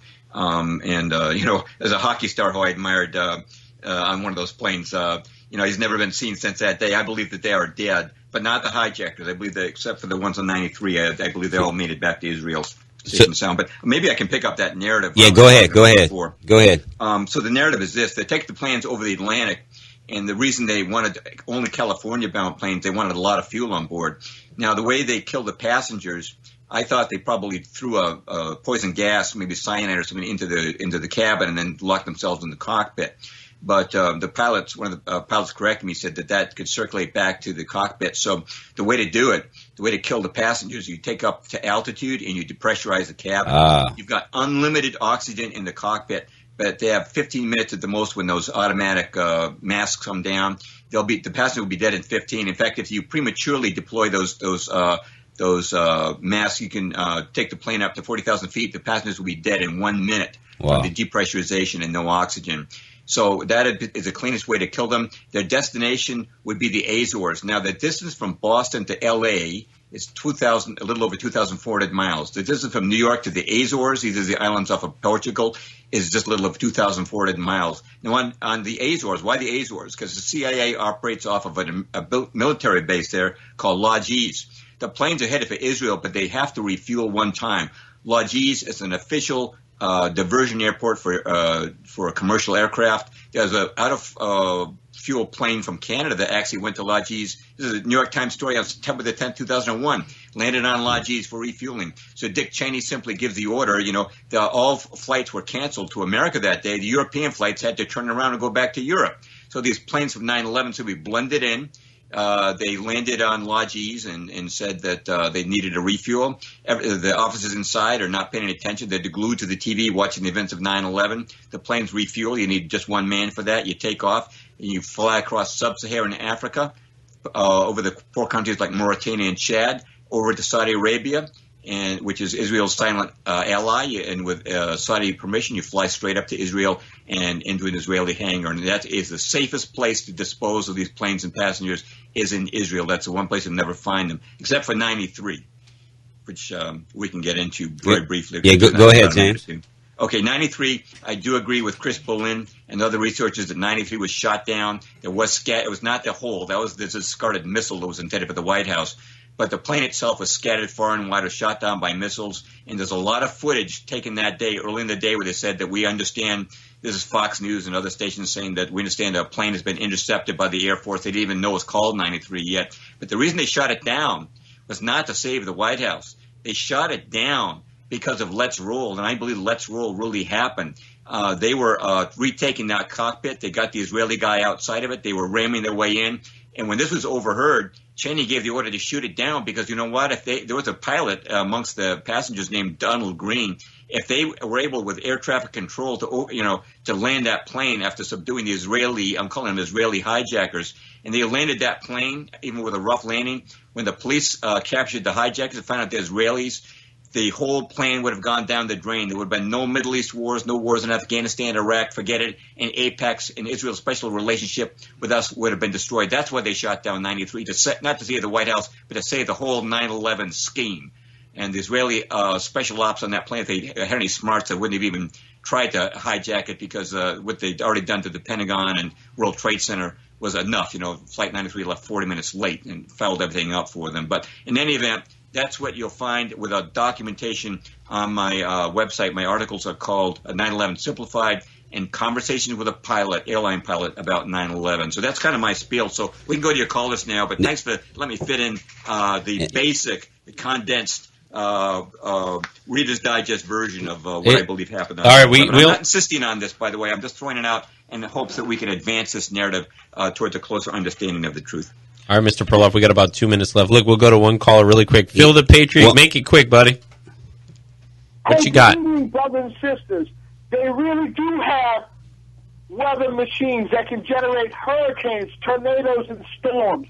They can also dissipate them if they want to. Right All right, Phil. th- Thank th- you, man. That was very quick. th- th- Appreciate it. thank you, Long Phil. time listener, and he uh, helped us many a time with some uh, personal stuff we needed for the show. But Mr. Perloff, any final thoughts? Anything you want to plug, or any final things you want to say to the listeners? We got about a minute and a half. Uh, well, God bless your listeners, and uh, you know, uh, God bless you guys for uh, providing a platform for people to tell the truth. You guys are spot on. I can tell every time I'm on here, you guys know exactly what's going on. I learned a lot from you guys. For example, about Aspen and Agenda 21, what they're doing down there in, in New Orleans, and and uh, and uh, duplicating that in other cities. Uh, you guys are uh, a real beacon of truth down there. So I just appreciate uh, being on the show, and uh, it's great hanging out with you guys. Great hanging out with people who are out of the matrix. Yeah, it, it it feels good, James. You know, once you once you see really what's going on and you learn the truth, you can never go back, man. And you it's it's really easier to you know move through life at that point. You know what I'm saying? You can see what's coming. Okay, so they want to dox us. We'll be our own boss for the rest of our life. That's what we've decided. That's we're fine with that. And we have to work for ourselves You want to dox us, our listeners, the people doxing or listening to our show right now, uh, we're fine with that. We're ready for this. Okay, we're not going anywhere as far as that's concerned. You know, if you want You to try, guys would have made pretty good soldiers in the Confederate Army. yeah. Well, listen, Mr. Perloff, you look, we've had um, a lot of entities lately lately trying to shut our show down and and give us a hard time. So to our listeners, we appreciate it. We hope to stay on for a long, long time, and if not, you know, you guys know what happened. And uh, Mr. Perloff, we're glad to have you on, and we hope to have you on again. Yeah, Uh, I look forward to that, guys. we appreciate James, and, and I know you probably missed some points, and, and you know we, we kind of get off in the weeds sometimes, but uh, you know, all right. We'll have to talk about. it. Man, we pr- appreciate it, James. You have a great and blessed night, man. It's always a great look. Y'all go check him out, jamesperloff.com. Go follow him on Twitter. Go read his book. My one of my favorite books of all time. Truth is a lonely warrior. Go read that, man. That's a must read. So please go read that. And uh, James, really appreciate it. Look, we got 45 seconds. Look, don't get distracted by the NFL stuff, okay? We got that coming up in four days. You know, look at the, the bread and circus. Mr. Perloff, you know, I think he thinks it's funny. It is kind of funny, but it's sad at the same time. And we Yeah, fall yeah, for is. it No, too. yeah. It's really They- sad. They, want us distracted, but they want us distracted. They are pushing that agenda to keep people uh, away from the truth and what's uh, the the doom that could overtake us by uh, the yeah, it's bread and circuses. It's uh, for women, it's soap operas uh, traditionally, and for men, it's a sports. you Yeah, know? yeah. Look, put your put your Game of Thrones, turn it off, put your box of wine down. You got to pay attention to what's going on, ladies. Okay, Friday night Game of Thrones, box of wine. That's enough. Football men, put your fantasy football aside and pay attention. The New World Order's here. Agenda 21's here. We'll be back next week. Battle of New Orleans Radio.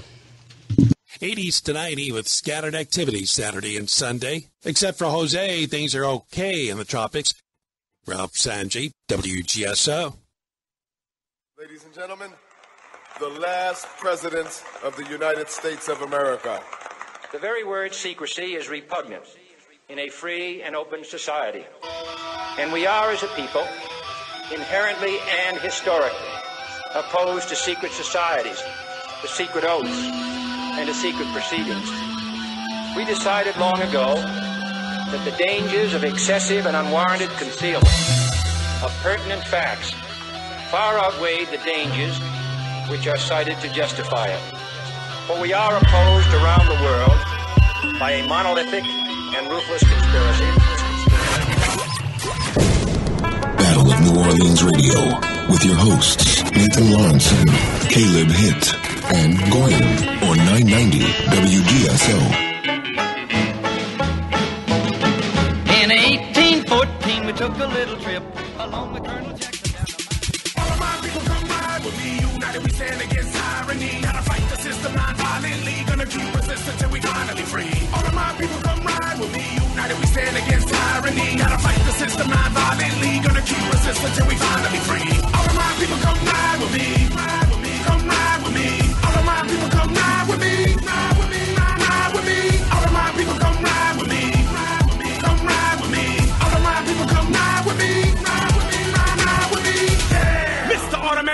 Fully loaded weapon, rapping power to the people. If you're riding with me, put your fists up high. United, we fighting until the system dies. They victimizing us, hypnotizing us with the lies that the media's providing us. They rely on us to comply with the views that they choose that are just dividing us. That they conquer us. It's the oldest trick in the book, but we ain't gonna fall for it. They're not at all legit. They in the business of crooks. Listen to me now. Companies see people as objects, nothing but money to shove deep in their pockets. Government running with the elitists who profit by feeding the products that are lethal and toxic. Big farmers only monetary wealth. They don't wanna find a cure, they want your mind to cause they don't profit from. Ride with me now, Monsanto. Hot damn, yo, look at that food. Tell me how the hell that. Genetically modified organism, chemical blinding your third eye vision. We're on drugs, in the prison. Ladies and gentlemen, welcome to another episode of Battle of New Orleans Radio, right here on 990 AM WGSO. I'm Nathan Lawrenson, along with my terrific co-host, Mr. Caleb Hitt, and we're also going to be having Mr. Torrey Grossman, Grossman excuse me, uh, co-hosting the show with us in here just a moment. Uh, good old partner uh, Goyam could not join us tonight. Uh, he will be listening though, so we appreciate uh, him listening. And you know, it's been a just a whirlwind of hurricanes uh, lately. It seems like every time we turn around, there's a storm coming, and it's been very, very busy, very, very active. And look, Caleb, before I bring you on in a second, I, I just want to say this and get your take on this. Um, they promoted this Hurricane Irma as being this giant superstorm, and no doubt it did some damage in Florida, mainly like Big Pine Key and one of the other keys in that area. A lot of tornado damage. You could see trees, trees uprooted. Um, but they promoted this storm is just you know coming in to landfall as a Category Four. Excuse me, but that's totally, totally not true. That storm wasn't a Category Four. It wasn't a Category Three, and I detailed this using um, the National Weather Service's own information against them. The Weather Channel showed the reporter on, you know, in Miami, and he's reporting. It's like, yeah, I'm at the Rickenbacker, in front of the Rickenbacker Bridge. I think that's the name of it. I might be butchering that. I'm in front of the bridge. You know, the, the winds gusted up to 100 miles an hour. Then he says a couple seconds later, well, they were at least 80 miles an hour. Well, wait a minute. Number one, the storm has to have sustained winds of 140 miles an hour, not gusts. Number two, he just contradicted himself by showing, by saying 100 and then 80. So that's a contradiction. Well, why he's saying this, he's not realizing that the Weather Channel has the wind gauge up on the left hand side and it shows wind gusts 71 miles an hour, sustained winds at 49 miles an hour. So, that being said, you know, it's just one big giant contradiction. And at that time, Miami was on the bad side of the storm. The storm was 25 miles east of Key West, putting Miami on the wrong side of the storm. That's just one blatant example. And while they're calling this thing a category three, category four, they're showing the wind speeds 75 miles an hour, 89 miles an hour, 67 miles an hour, uh, 49 miles an hour. They're never showing actual wind speeds of 140 miles an hour like they're showing on the right hand of the screen. So then let's fast forward at 3 o'clock. And if anybody thinks I'm lying about this, you can go to Battle of New Orleans Facebook page and Nathan Lawrence's Facebook page, and you can see uh, these videos that I were playing that I was playing using their own information, and I was showing you the television, so you can go check it out. Well, at three o'clock, the storm was coming into Naples. Naples is on the wrong side of the storm, and there's hardly any storm surge. That's a that's an indicator that it's not a category four or a category three. Then they they show Naples. Well, excuse me. I go to Google Weather, and Google Weather at that exact same time in Naples wind 55 miles an hour. Now, 55 miles an hour. Look, that still can do a lot of damage, and you know it, that's it can cause damage, but that is not a Category Three or a Category Four. Here in Louisiana, when Katrina hit in 2005, we had in Slidell we had 20 to 25 feet of storm surge in a Category Three. There was pictures of waves off the coast, coast of Biloxi at almost 45 feet tall. Okay. And they showed the storm surge in Florida of Big Pine Key at three and a half feet. Now, granted, three and a half feet can do some damage, but that doesn't match up to a category four. And I'm just stating this because this is just more tricks, you know, that the media plays and lies to us about, you know, and, and they work with our government. You know, they've already mobilized all of these people, millions and millions and millions of people they've mobilized, moved them out of their homes, you know, told them there wasn't going to be nothing to come back to. And, you know, so there's just many facets of this as well. You know, by them declaring national emergency, you know, the, the government, the state gets to get uh, funding and, and that whole, you know, whole uh, kit and caboodle. There's just a lot to it, you know. So, you know, that's just one thing I want to talk about. But also, before I bring on our other co-host Caleb, and we also have uh, Torrey Grossman uh, with us now. I want to discuss. Look, 9/11 just happened. I know we discussed 9/11 at nauseum last week, but there's a lot of stuff we didn't discuss. And also, you know, I think Caleb and Torrey can give their perspective on 9/11. And after we discuss 9/11 for a while, let's let's talk about some positive things. We can get into some holistic healing and what can we do in our own lives to really resist, you know, this new world order plan that they try to shove down our face and our throat on an hourly, daily, second, uh, secondly basis. So, uh, you know, without further ado, how you doing tonight, Caleb? How you doing tonight, uh, Torrey? I'm pretty good.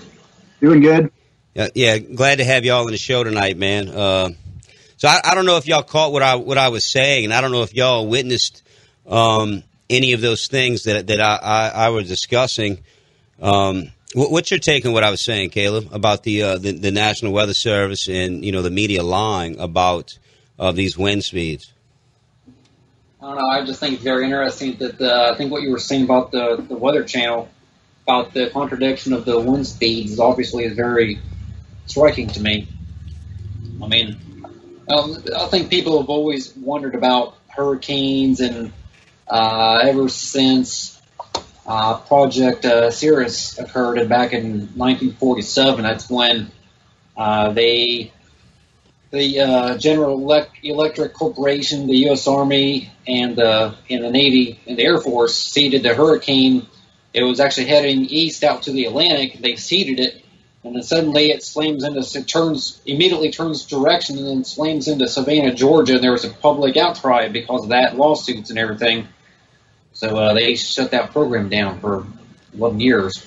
Yeah, yeah, no, no doubt. What, what's your you, you you have a take on that, Torrey, or, or you want to say anything about that?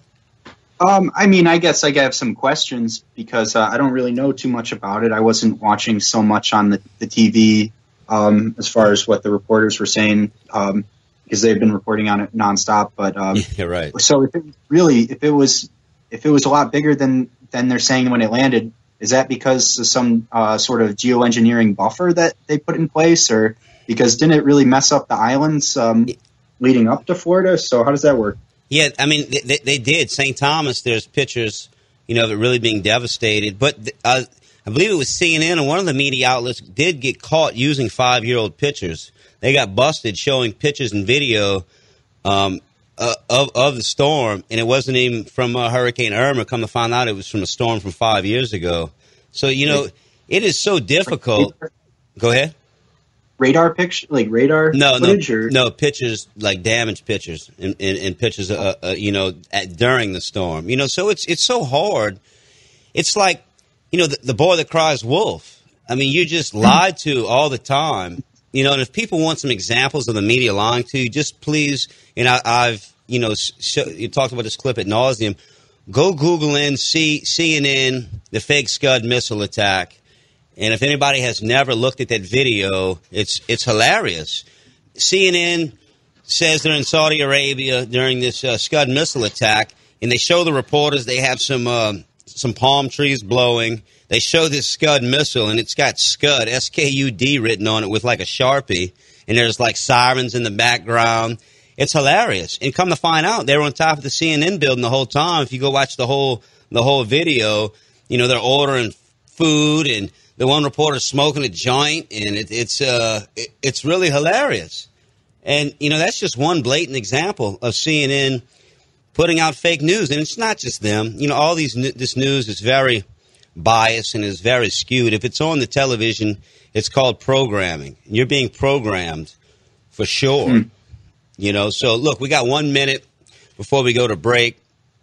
Mr. Caleb Hitt, the dailyresistance.com reporter and a co-host is with us. We have former Army Ranger, Mr. Torrey Grossman is with us, and we're going to be discussing, you know, just really, you know, topics that's that's happening now, 9/11, and taking phone calls, and also, you know, trying to discuss some solutions which you can do daily in your own life because that's what it's about. We're never really going to change you know, the district of criminals. We're never going to change these elite, but we can do things in our own lives to try to remove ourselves from this new world order system that tries to keep, you know, the chains around our throat. And once you kind of become red pilled on this, at least you can navigate through the storm. So listen, Battle of New Orleans Radio, you know, tune in, tell your family and friends about us. We'll be right back.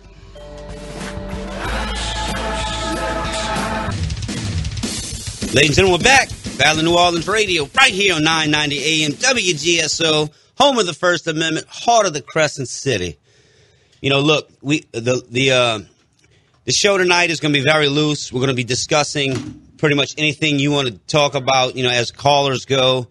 But I would like to discuss. You know, we were talking about weather modification. You know what's going on. We've been talking about that a lot lately. People think that's some kooky conspiracy theory but it's on record, okay? And I think it's very important because millions of people's lives get affected, okay? You know, one way or the other, you know, and, and they have the ability to change the outcome. So that, that's why I think it's important. But, you know, not only, I, I also want to get into 9 11 because 9 11 is the glue that holds this whole thing together. Okay, they used 9 11 to send troops overseas, like our friend uh, Mr. Grossman there. They used 9 11 to, you know, decimate the Middle East.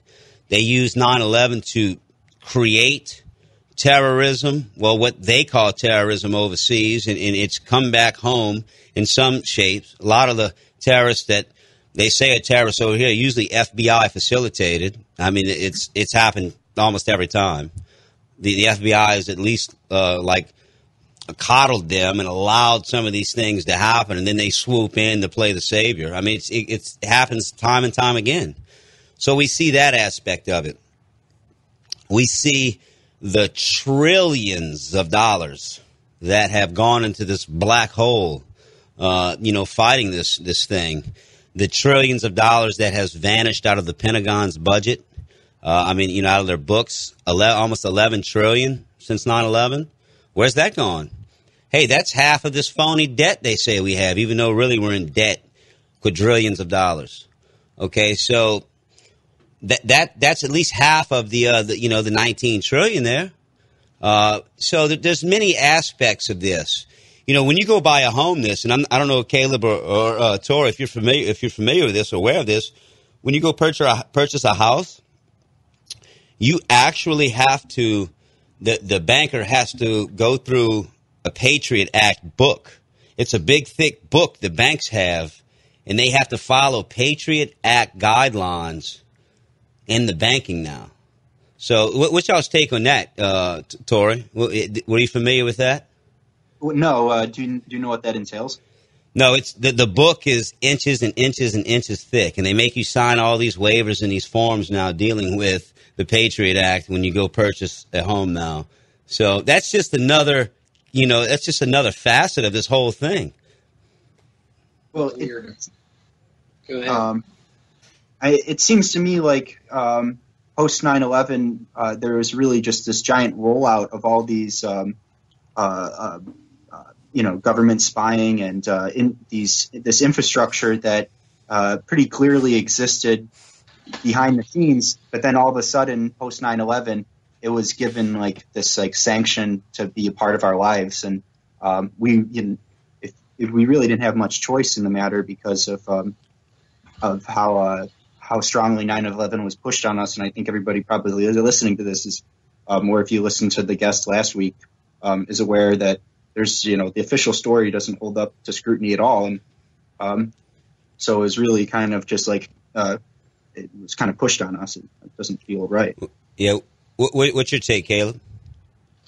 Well, 9/11 has been used to reshape the world and uh, recreate a new America Huh. In uh, in many different ways. Well, with the, you know, with the like what Torrey was talking about with the surveillance state, the police state, and everything that's been going on in the Middle East. Yeah, no, absolutely. And look, that was an inside and outside job. You know, it was done by elements inside our government, outside of our government, foreign powers, you name it. Um, so, you know, it's very, very disturbing. And now you see, oh, remember 9 11, uh, you know, never forget, which, yeah, don't forget. But you know what?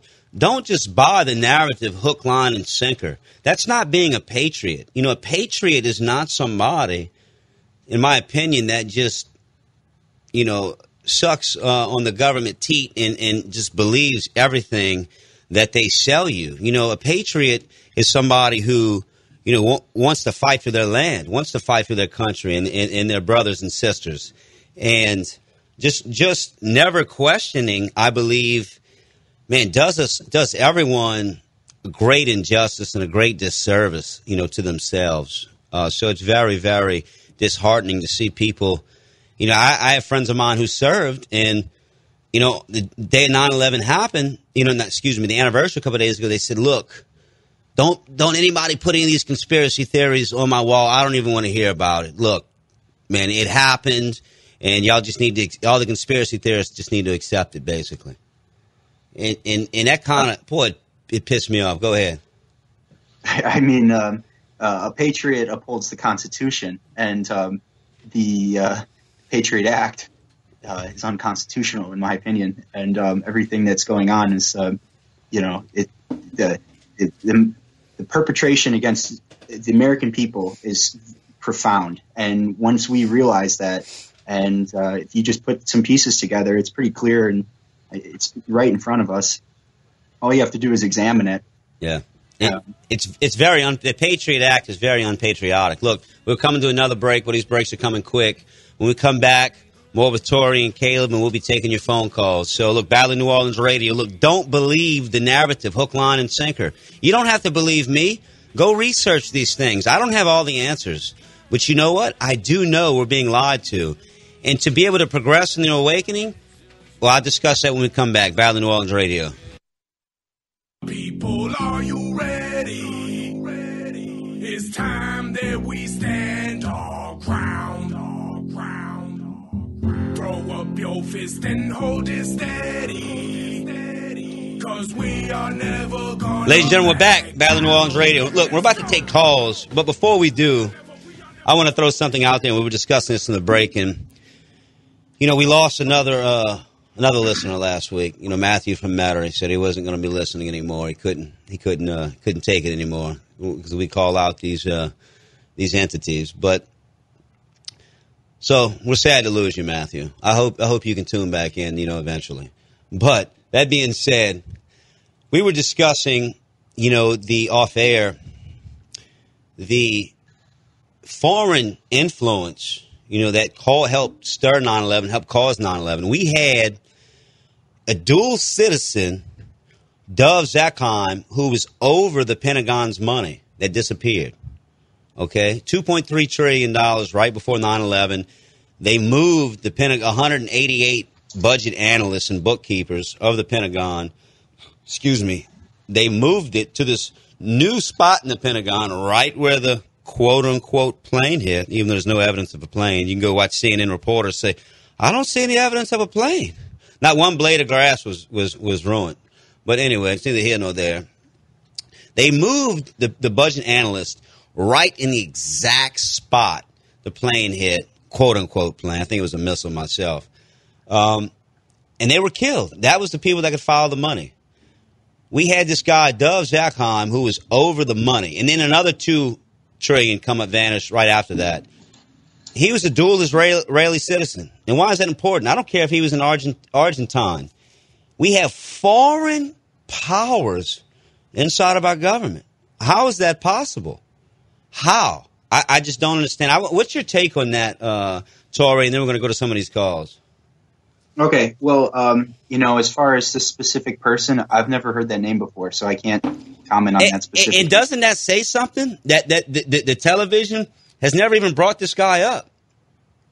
Yeah, uh, yeah. The, there's a lot. It, like the the thing that I've got, the question I've got about this, or the the beef I've got with this, is that um, you know, I was uh, I I was on four deployments. I was doing night raids. I was black masking people in the middle of the night. I was uh, I was um, the fist for uh, the military uh, war machine. And um, but why is it that we are uh, there's a stigma around questioning who our even our allies are, or um, to like to what benefit we're even in uh, the region, and um, why are why are ally like are these connections obscured, and uh, I, like after this last guest this um, last week talking about um, Mr. Perloff Israel.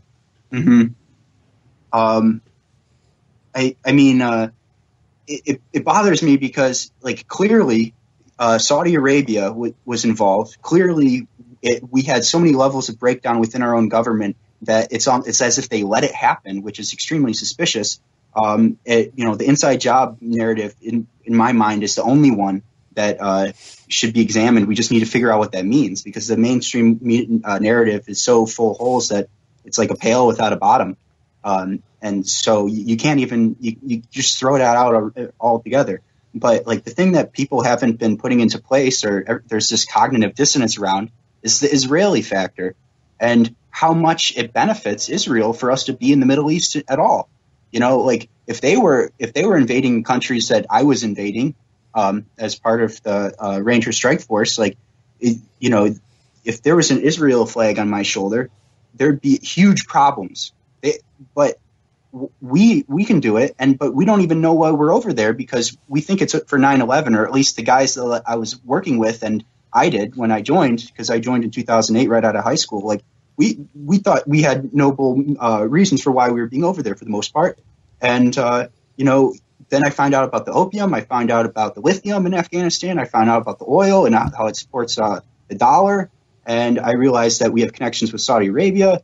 And but there's this cognitive dissonance around Israel altogether. And when I bring it up with people that I know, I've had I brought it up with uh, my dad, my mom, and a friend of mine, and uh, every person I brought it up with had a physical reaction of like repulsion to even thinking about it. They oh, oh they didn't want to think about it. My buddy started bobbing up and down as if like he it just made too much sense for him to to to, to under to grok. But because it, it makes it clearly makes sense but why is it that we don't look there?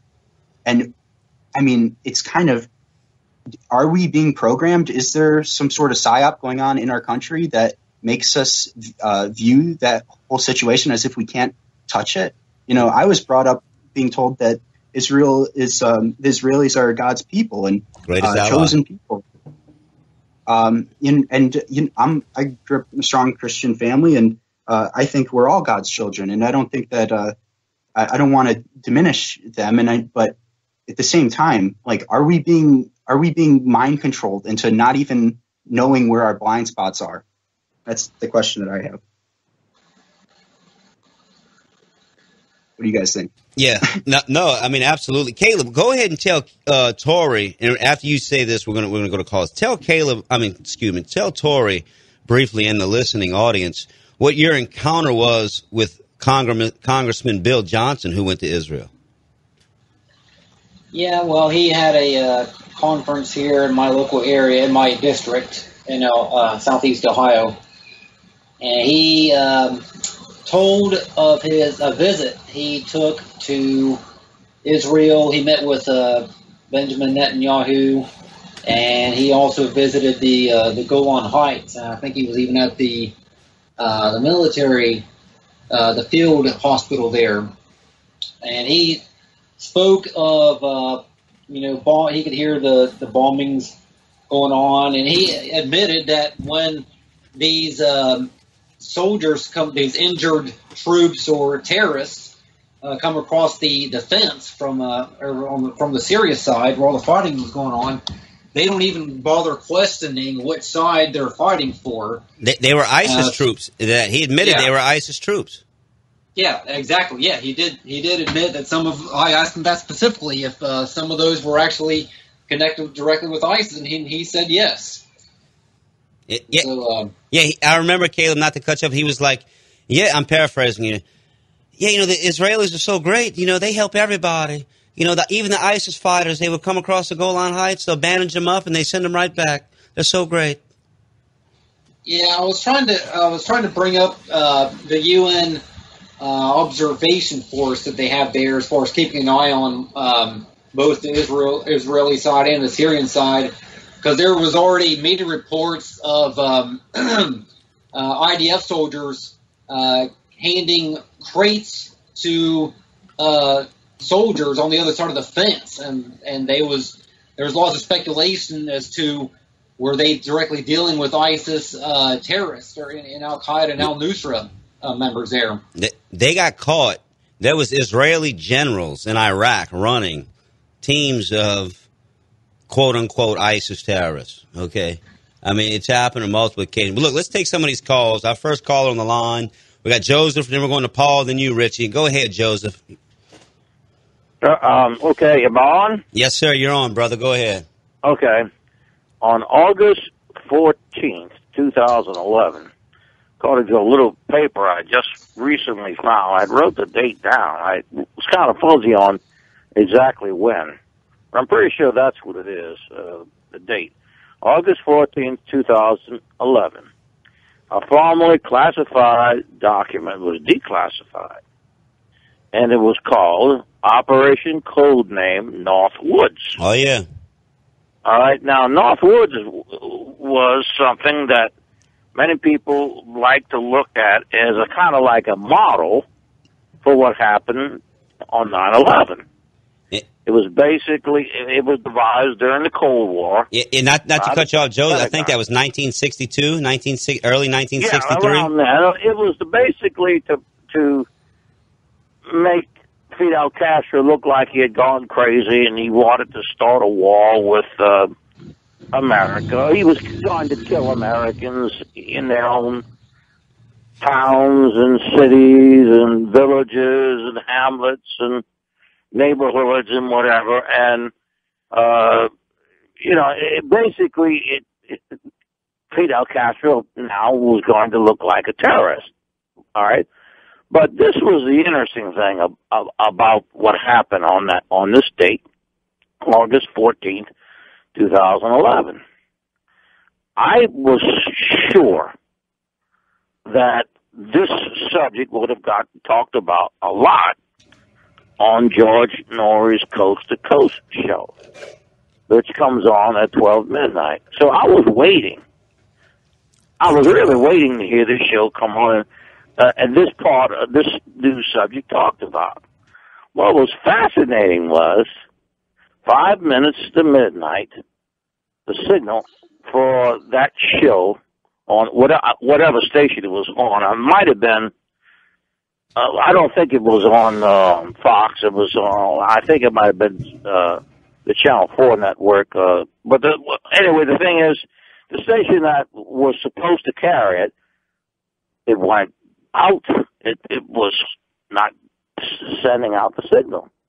For four hours, that show was blocked from being broadcast. I- don't know if we talked about the um, uh, the North Woods document or not, but the, the but the thing that was the most shocking was five minutes to midnight. The signal was was restored. The program was allowed to finish, and I realized at that point we are living in uh, a, a the national security state, a, a kind of like a, a police state, where we are monitored, we are controlled. What the news we hear, if they don't want us to hear it, they block it out. And I was shocked. For the first time in my life, I realized I'm not in Kansas anymore. you get it? Yeah, no, no, absolutely, absolutely. No, I mean, Joseph, look, that a lot of people since that document, you know, Operation Northwoods has come out, that has really woke up, you know, woken up a lot of people. Stay woke. Um, it is really because look, even in, in that year, I think it was 62, 63, they were talking about remote controlling planes. Um, 62, I believe. okay, yeah, I knew it was somewhere Well, around the there. thing. Here's the thing. Kennedy. He, he when, blocked it. when the when when when the, the the big brass in the Pentagon put this on Kennedy's desk. He couldn't believe that they would want him as a president of the United States of America Our last president, by the way. off on this. They- He said, "You people are crazy. Yep. I'm not going to have citizens of the United States of America set up and killed like this, uh, and you- then we're going to blame it on, uh, you know, Castro." Yeah, no, no, no doubt. He, he, he he threw it back at him and said, "You know, I'm not going to go for this." You know, he blocked it. Look, look, Joseph, we got to run. That was a great call, man. Great point. I'm glad you brought up Operation Northwoods. You are a treasure trove of treasure trove of information for sure. Um, we're coming to a break. We get back. We'll get uh, you know, Tori's uh, outlook on that and, and Caleb's as well, and we'll take these other calls. Battle of New Orleans Radio. We're definitely not in Kansas, and I was talking about, you know, the awakening. You first have to admit the government is lying to you and they don't love you and they really want to harm you okay and and also that you, and you have to admit yourself you've been lied to your whole life battle new orleans radio we'll be back You acted like nefarious beasts. I can't follow your holla hoax dollar score, especially when the Holodomor killed a lot more. I highly recommend. That rhetoric, you should end it. Your anti-Gentile penchant has me very offended. And Ladies and gentlemen, we have finally figured it out. At first, we thought it was the Eskimos. But now there's a strong consensus amongst experts. It's an entirely different animal. If I had to name a creature to maim to make the world a better one, there isn't a doubt that I would kick out these dirty, filthy leprechauns. They run in your place right into the ground, so many afraid to step to one. If you grow a sack and focus on facts, you'll have to confront the leprechaun. They're pushing their porn and poisonous corn. ladies and gentlemen we're back of new orleans radio right here on 990 am wgso yeah i want to get your take torrey on what joseph was talking about operation uh, northwoods um, i don't know if you're familiar with that document or not uh, but you Yeah. know you, go ahead Uh, I mean, um, that's uh, I, it's just a, that's a good example of like th- these tactics, and it, it's kind of interesting that like we look back at something back in Kennedy's day and we say like, oh, there's a good example, but then some people would say, well, oh, that was way back then though, um, and uh, you know, clearly these things are still going on. Um, you know you know if they were doing that they were planning that then. What do you think they've planned for us now? Well, I mean, well, how how far has our government ran off? And because if uh, Kennedy was assassinated and um, who was in control back then, I mean, then um, so how does how has that maintained itself to the present? No, absolutely. And you look at Kennedy, um, he really didn't want Israel to get nuclear weapons. That was a big old deal. He didn't. Um, he wanted. To, he wanted to end the Federal Reserve. That was a big deal. Um, he didn't really want to mess with Vietnam. That was a big deal. So, I mean, you look at all those those factors, and man, it's it's it's really scary that they murdered our 35th president right in front of our face. You mm-hmm. know, so you know, I think they that's when they officially, you know, I granted Kennedy came from an old lineage, bloodline family from the power structure, no doubt, but it was still, I still believe, you know, it was the last president. Really, they they completely hijacked that position, hundred thousand percent at that point. You know, no doubt. But look, let's take these calls. We have Paul uh, in the West Bank, then you, Rich, and then you, then you, uh, Vincent. Go ahead, Paul. Hey Nate, how you doing, I'm- man? I'm good, bro. How's you guys with it? How y'all doing, guys? Doing pretty good. Okay, How you? I, I see you got somebody on the on the program tonight that's from Ohio. What part of Ohio, sir? I'm in Marietta. Okay, on the uh, Ohio and- River. In 71 and 74, I was eight years in the Air Force, but I spent four years at Old Lockbourne Air Force Base outside of Columbus. Are you familiar with that? Uh, no, I'm not personally. And then it became uh, Rickenbacker Air Force Base after the uh, Great Ace uh, of World War One. That was from Columbus. Yeah. Well, anyways, you- uh, your state got me used to cold weather and snow and ice. Uh, what what I want to say tonight is um is that I do believe in weather modification. There was uh, two senators. We could go back to the '60s on this, and maybe Nathan knows these gentlemen.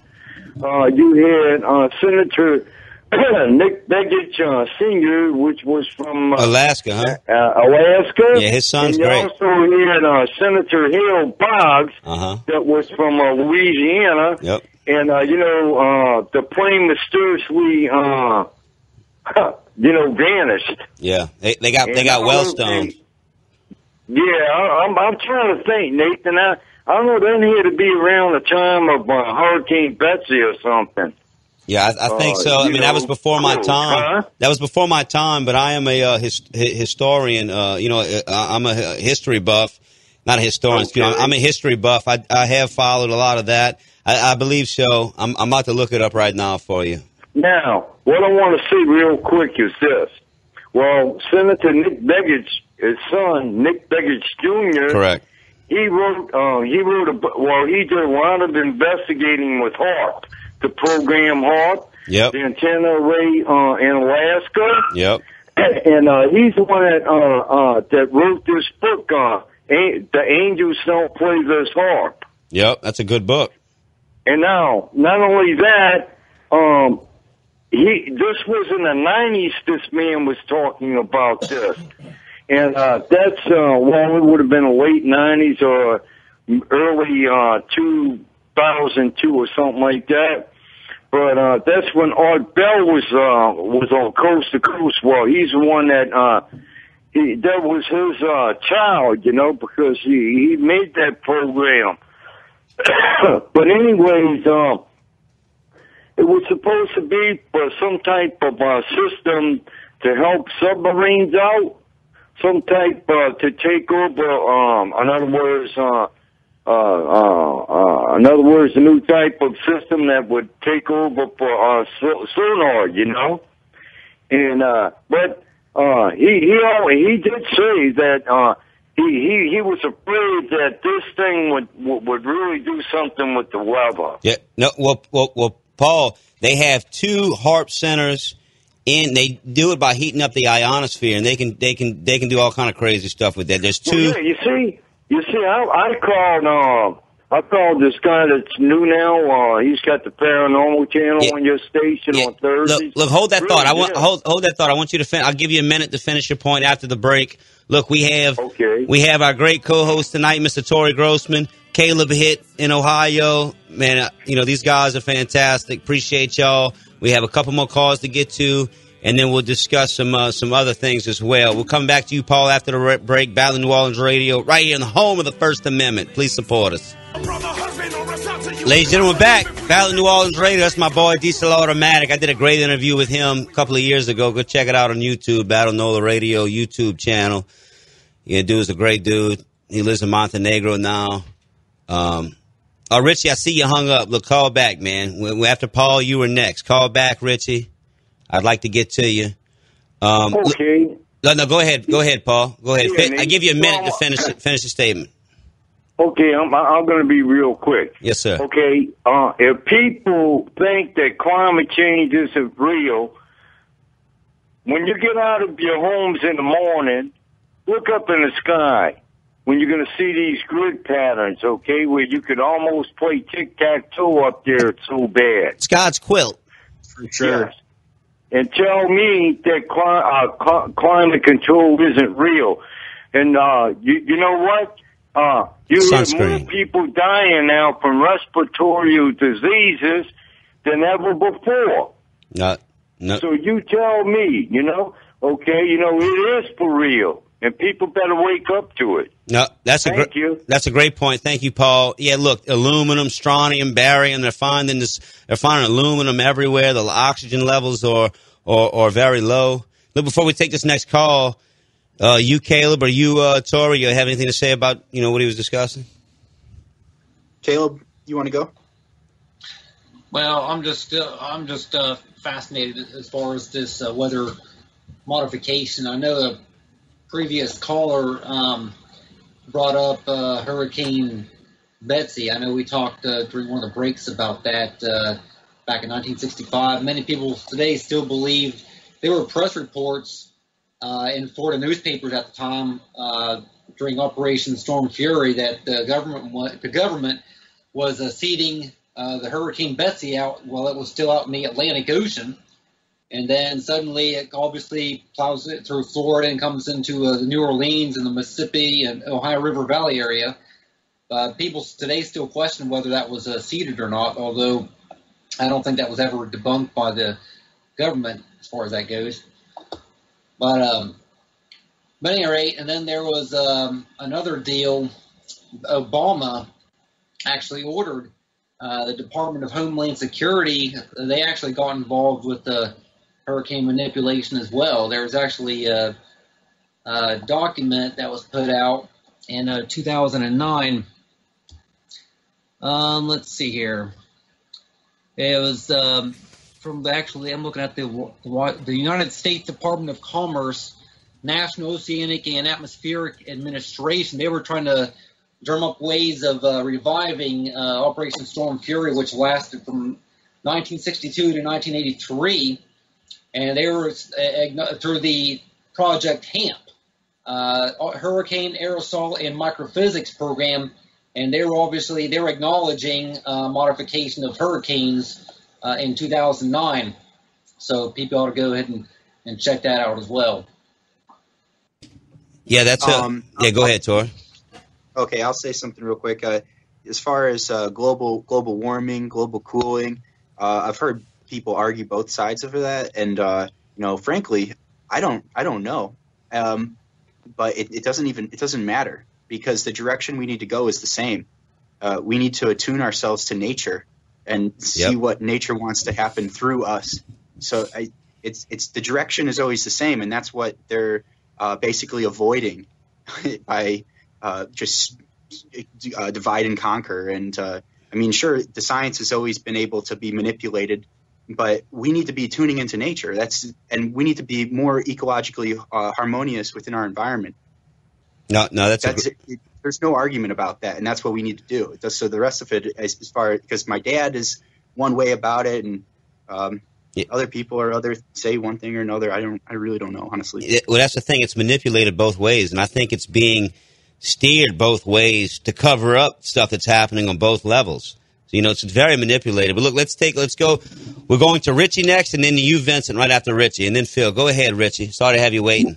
Go ahead. Yeah, good, good evening, gentlemen. Uh, I'd like to, everybody to chime in on this one. Uh, And there's several aspects to this. Uh, you know, the, the mass of America, much less the, the mass of the world, who are most of most of us are controlled through the media, uh, through what we re- what we read, what we've been taught, uh, if we do read, uh, what we've been taught, what we listen to, the radio stations, uh, the TV stations we watch, the movies we watch. So uh, I personally Uh, and this is no uh, slight on the average American. Uh, I call them ignorant in, in the true definition of the term. They just don't know. They've been uh, brainwashed from the inception, and for whatever reason, that spark, that spirit that's touched you and I and most of the listeners who have awakened us to this uh, this terrible situation we find ourselves in. I, I'm setting this thing up for you guys. Um, I feel that the mass of humanity is too far gone, and the powers that be have too much control to have this work out to any kind of peaceful or harmonious uh, resolution. And uh, I'd like you guys, uh, if you have the time, do, do you each of you look at this through secular or spiritual, uh, historic lenses uh, to the future of of our of our fate?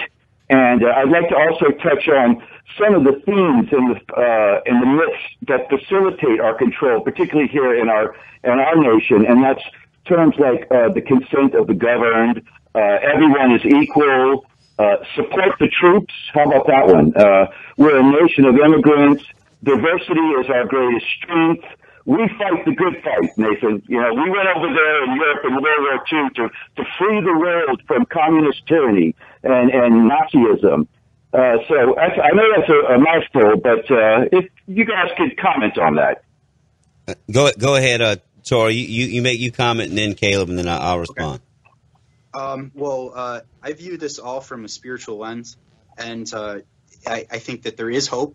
Uh, like you know, there's extremely there, there's it's not uh, not foolhardy hope either. There, the, because I'm viewing it from a spiritual lens, I, I know that it's it's it's able to uh, be a uh, uh, it's we're so close to to where we need to go. It's ridiculous. It's just like um, it's almost unbelievable how how simple the solution is.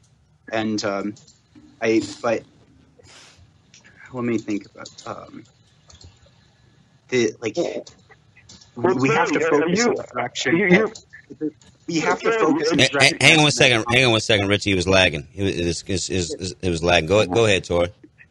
it, we have to focus in the in the direction that's going to accomplish the task.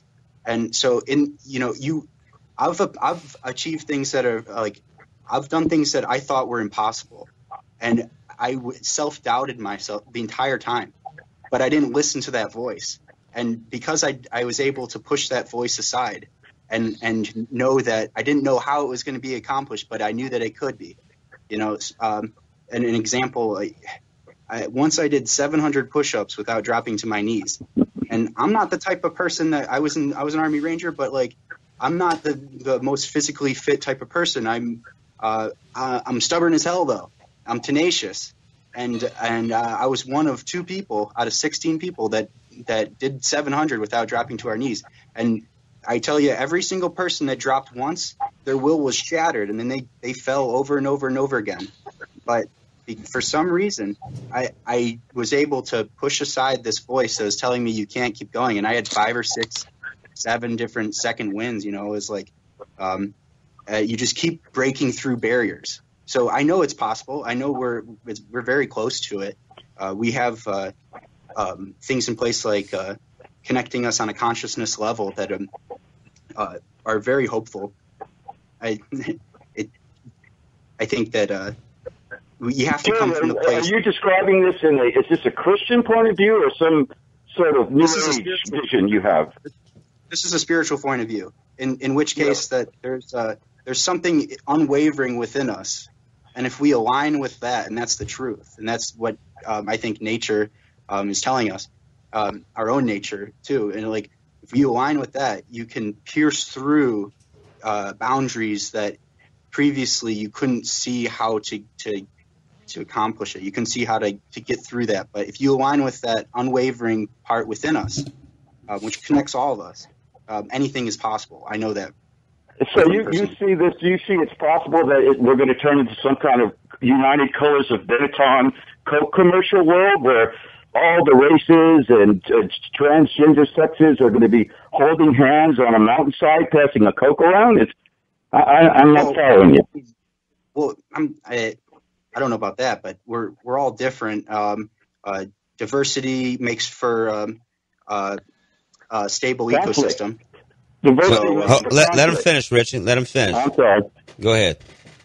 I mean, if you have a, if you have all the same types of trees in a forest, so you get a forest fire, you know, there you, you might not get anything. Like everything could get wiped out. It, in nature, diversity adds to um, stability.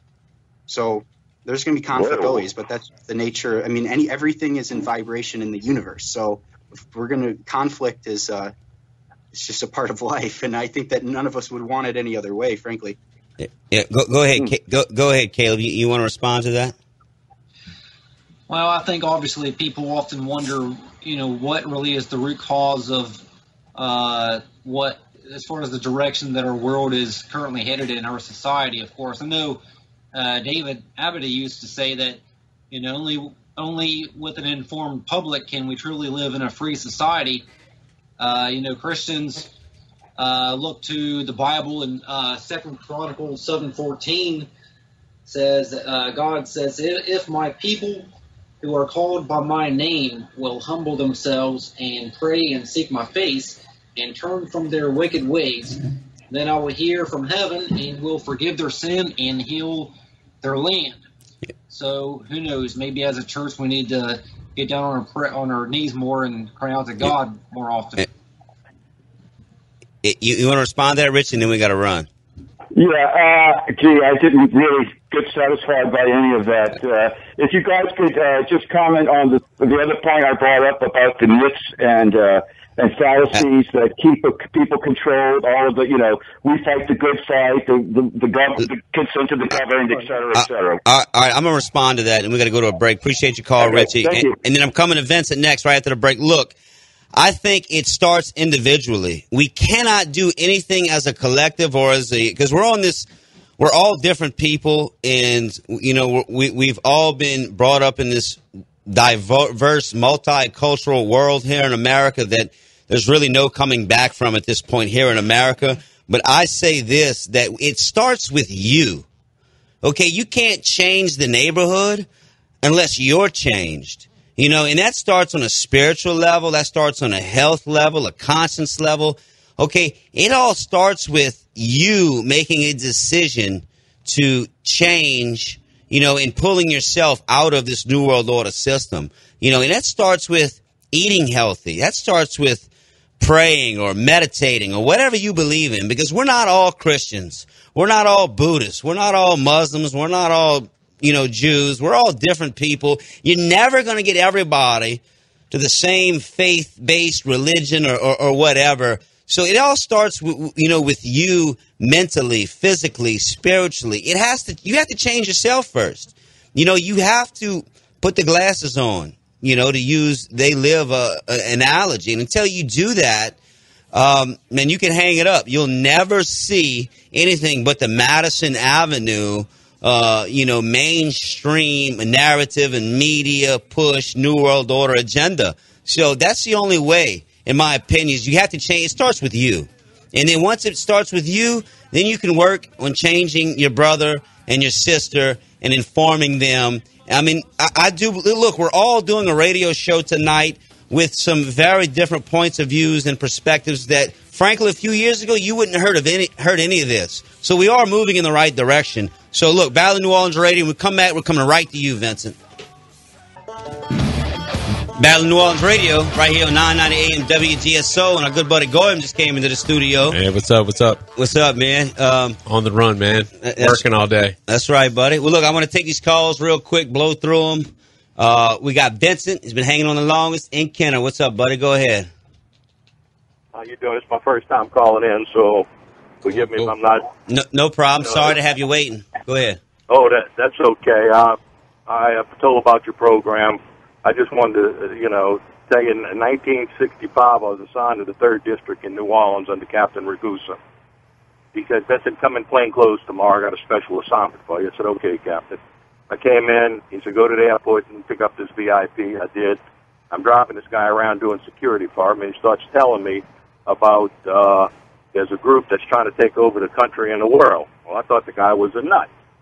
So I bring him back to the plane. About a week later, I'm in police headquarters drinking a little coffee, and Lieutenant Burris walks in. He was the head of uh, of um, uh, oh shoot, I forgot the exact name now. It's been a number of years ago. I'm 71 now, but uh, intelligence division. And uh, so I mentioned it to him. He says, "Yeah, we're aware of it. It was, it was the order of the Illuminati, Council on Foreign Relations, to Bilderbergers."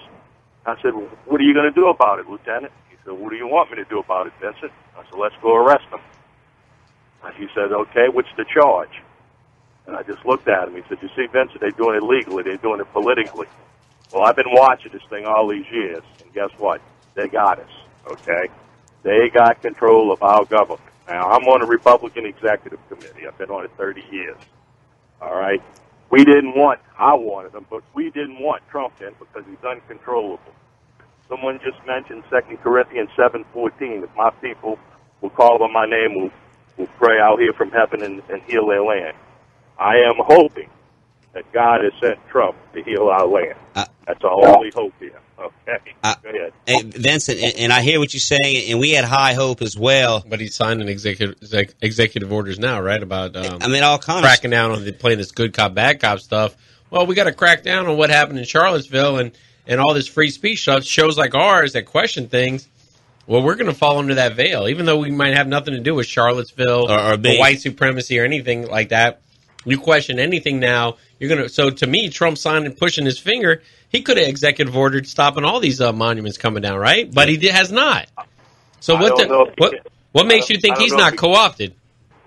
Well, we're going to have to wait and see. Uh, Well, I mean, the problem is, see, the problem is, say, the case in New Orleans with the monuments. We got to wait and see to see what Mitch does. We got to wait and see if they're going to take the. We got to wait and see to find out if the NOFD was involved, if taxpayer dollars. Guess what? It's all happened. It's all happened in the middle of the night, in front of our face. We saw it. We were there. We saw it. We saw, uh, you know, uh, people snipers up in our uh, rooftops. We saw it. We saw the Gestapo-like tactics. We saw it with our own eyes, and now it's all gone. And the couple people like Dr. Marksberry last week trying to fight to get him back, he's being red flagged too, and they're coming after anybody, as you see with Trump's executive order here, that you know is is going is mouthing off about it. We, we we've been in, in, in real quick, Vincent. We've been we've this uh, you know Goyam and I we've been infiltrated by FBI or FBI forces. Uh, we, we we've had people trying to do all kind of stuff to get us thrown off the air uh, behind the scenes uh, b- by using dirty tricks against us. Uh, j- just as of late, I know. I, I drove down here so that Nathan doesn't walk out of the studio by himself. Put it to you like that. Thank you. They, they threw me in jail, set me up, and threw me in jail. So I've been visited several times by the FBI too. Uh, and but and I and I'm re, I'm part of home. Uh, what I'm retired from the governor's office of home, Homeland Security, and I knew some of the things they were doing. When I tried to do something about it, they set me up, threw me in jail. But there is a God. I cried agree. Out to God. No, I cried out to God, and He answered me verbally. And He said, "I will, I will, I will deliver you." You're talking to the only guy in the country that has a federal expungement. Jim Garrison and I were good drinking buddies. He tried to investigate who killed our president. Look what they did to him. Well, listen, look, we're coming to we're coming to a break here. We appreciate that call. Thank- listen next week, Vincent. Yeah. we, we got Tune. Gary, we got Gary King coming back on. Uh, we'll come back. Go ahead. Appreciate you, Vincent. We're coming to a call. coming to a hard break. We'll be right back. Battle of New Orleans Radio. All right, Battle of New Orleans Radio. Look, listen, we're getting uh, vulnerable with the listeners here. Our hundreds of listeners, hopefully, you know, we hope we. well, we that- do we do get 700 downloads on the podcast when we, we upload it to Podbean, and we do get thousands of uh, views on the aggregate on YouTube altogether. So I mean, we got a few thousand listeners And a look, week. we're going to clarify our situation in the coming weeks on our future with the radio show and WGSO and our show because you know we were talking, we've been talking about this a lot, me and Nathan. You know, like we've had people come into studio, random people that are not affiliated with the producer. They're not affiliated with Jeff Crouere. They're not affiliated with Rudy, the produ You know, these are the names of the people at WGSO, and I hope they're listening because it's important for them to know that we've had random people show up, and as we're starting the show, they're around, they're walking around, they're turning knobs back there behind the glass, and it's like, who are these people? And it wasn't the engineer either. And we, we confronted the WGSO brass and they disappeared. Now, you know, we have other entities that are emailing and trying to shut our show down. And, uh, you know, we have families, we have businesses They're that we run. unveiling as agents as well. Exactly. We, we've been infiltrated. We're, we're basically disassociating ourselves from anybody who we do not know for six months or longer now. It's legal. We have legal representation now for this. So um, you know we've getting, been getting a lot of advice from other people who've been doxxed. So good news for us is one, we're not scared. Number two, Go, Goy met Cameron Cruz. They had the news show up to his house, show his front of his house, tell him what town he lived in, showed his front door. uh, Uh, parents' house. I mean, they, they I mean, That, listen, this just shows the, li- the listeners have to realize though, if you try to speak the truth, obviously we're on to something. Number one, you poked the bear, Guess man. I'm on the right show. yeah, yeah, we're we're obviously on on to something if we're you know because if we're just talking about well, Walter Isaacson, where you at, buddy? Yeah, we got to go get those Muslims over there in the cave. We got to do that. If you say that, you can say that all day long. We talk turn about in the that- glass. Yeah, exactly. You know, we're going to make the sand glow. So, but um, back to what we've experienced. You know, we've experienced this. We, you know, we run our own businesses. So, look, you can dox us all you want. We ain't going anywhere. Our clients know what we do and what we're about. We talk about this stuff every day to everybody we talk to. So, everyone from the gas station to our you know, coworkers to you name it. So, And our wives, they get our sick wives, of it. yeah, you name it. So that's the situation moving forward. We're going to keep you guys posted on our future of our show, but uh, you know, just to let you guys know what We'll we've never stop doing this. Yeah. So you know, anyways, look, we're going to go to the calls. We got Gary King. Go ahead, Gary. Hey, fellas, you are the bravest pair of radio hosts in the city, hands down, and it's embarrassing what we have besides you guys. Appreciate it, And, Gary. um, We love you. You are definitely. Um, Hey, hey, Gary, I- Gary, I have Gary, to say, Gary, we- more dangerous. Yes, we, go ahead. we look up to you, man. You you were the, the, the forefather in this, brother. Well, I've been at it a long time, but also you need to learn when to stick and move, and I think you guys are uh, over the target right now. Um, Walter Isaacson, I uh, hope you're listening. Hey, I, I, I There's heard. Hey, Gary, I heard you call into WWL uh, and talk to uh, the sheriff, man, and call him out about 9-11. That was great, man. I, uh, people are listening, and that's a big Mm-hmm. station that t- you know if you try to mouth off like that, they cut you off. Yeah, 37 states WWL's in. Yeah, you did a good job Yeah. sticking and moving because you were like, "Look, you're a great guy. I want to be your first caller." So that was great, Mm-hmm. and and that kind of station does not allow that kind of question. So that was pretty impressive. So go ahead, Gary. Well, I have the uh, the the uh, caller lady. Uh, she seemed like a young person. I told her, but believe it or not, to be the first caller on his show, I was in Bay St. Louis. I drove all the way back. I did a full band practice, and then I drove out to Elmwood, and then finally I got on the show. But I'm gonna tell you right now, the first thing that went on the screen because they have to tell Newell Normand what's coming, and what was on the screen was, do you two gentlemen believe the official story of 9/11? So they saw that right away. That that, that stayed on the screen for two and a half hours as Newell Normand uh, brought in the special agent in charge of uh, Chicago, agency after agency. So um, I, I'm highly suspicious of Newell Normand. Uh, I He's the Department of Homeland Security uh, whore. I'm gonna say it now. Oh, that's right. I can't say that now. I got never mind. Yeah. Yeah, you didn't. Well, we got the uh, seven second button, but no. When you said that he's going to usher in the police state in New Orleans, uh, it just bang, bells just went off in my head. He um, w- basically saying that thanks to nine eleven, we all feel so much safer now with these uh, billion dollar agencies running amok and all the, um, I guess, military equipment going to all the in other words, Newell Normand is the recipient of the big fraud that is 9/11. Absolutely. You, you know how much money they've gotten, all the fusion center money that, that he's just bathing in the security state. And and and so, you know, I used to laugh at um what was it the um uh Garland Robinette. Mm-hmm. Yeah, because he's. I'm going to say this now. We're going to beg for the day that we get Garland Robinette, who's just not aware of what's all going on. Let me tell you what, Newell Normand knows exactly what's going on, and the and the guests that he had were just praising all of the uh, alphabet soup agencies, and, and what a great, fantastic job they were doing, and uh, keeping us say from, uh, you know, the whole story. Well, so, Ga- Gary, I- I- G- Gary, let me say something. And I, I I asked the listeners who call into our show to do what Gary did, call up these bigger stations because they are bigger than WGSO. Let's be honest, and not just call up Jeff Crouere or our show. Call up these bigger stations. Wait the 30, 40 minutes, whatever it takes. Even give them a different topic, and then when you get on the air. ask them some real questions and see how they respond. They're gonna cut They're you gonna off. cut you Oh, off. we just lost Goy. So Uh, bad yeah, exactly. Use fake names. Call up and question these things and see how they respond. You'll see. You don't have to be a DJ, a radio DJ, a host, or anything like we are. We're just regular street folks who did this.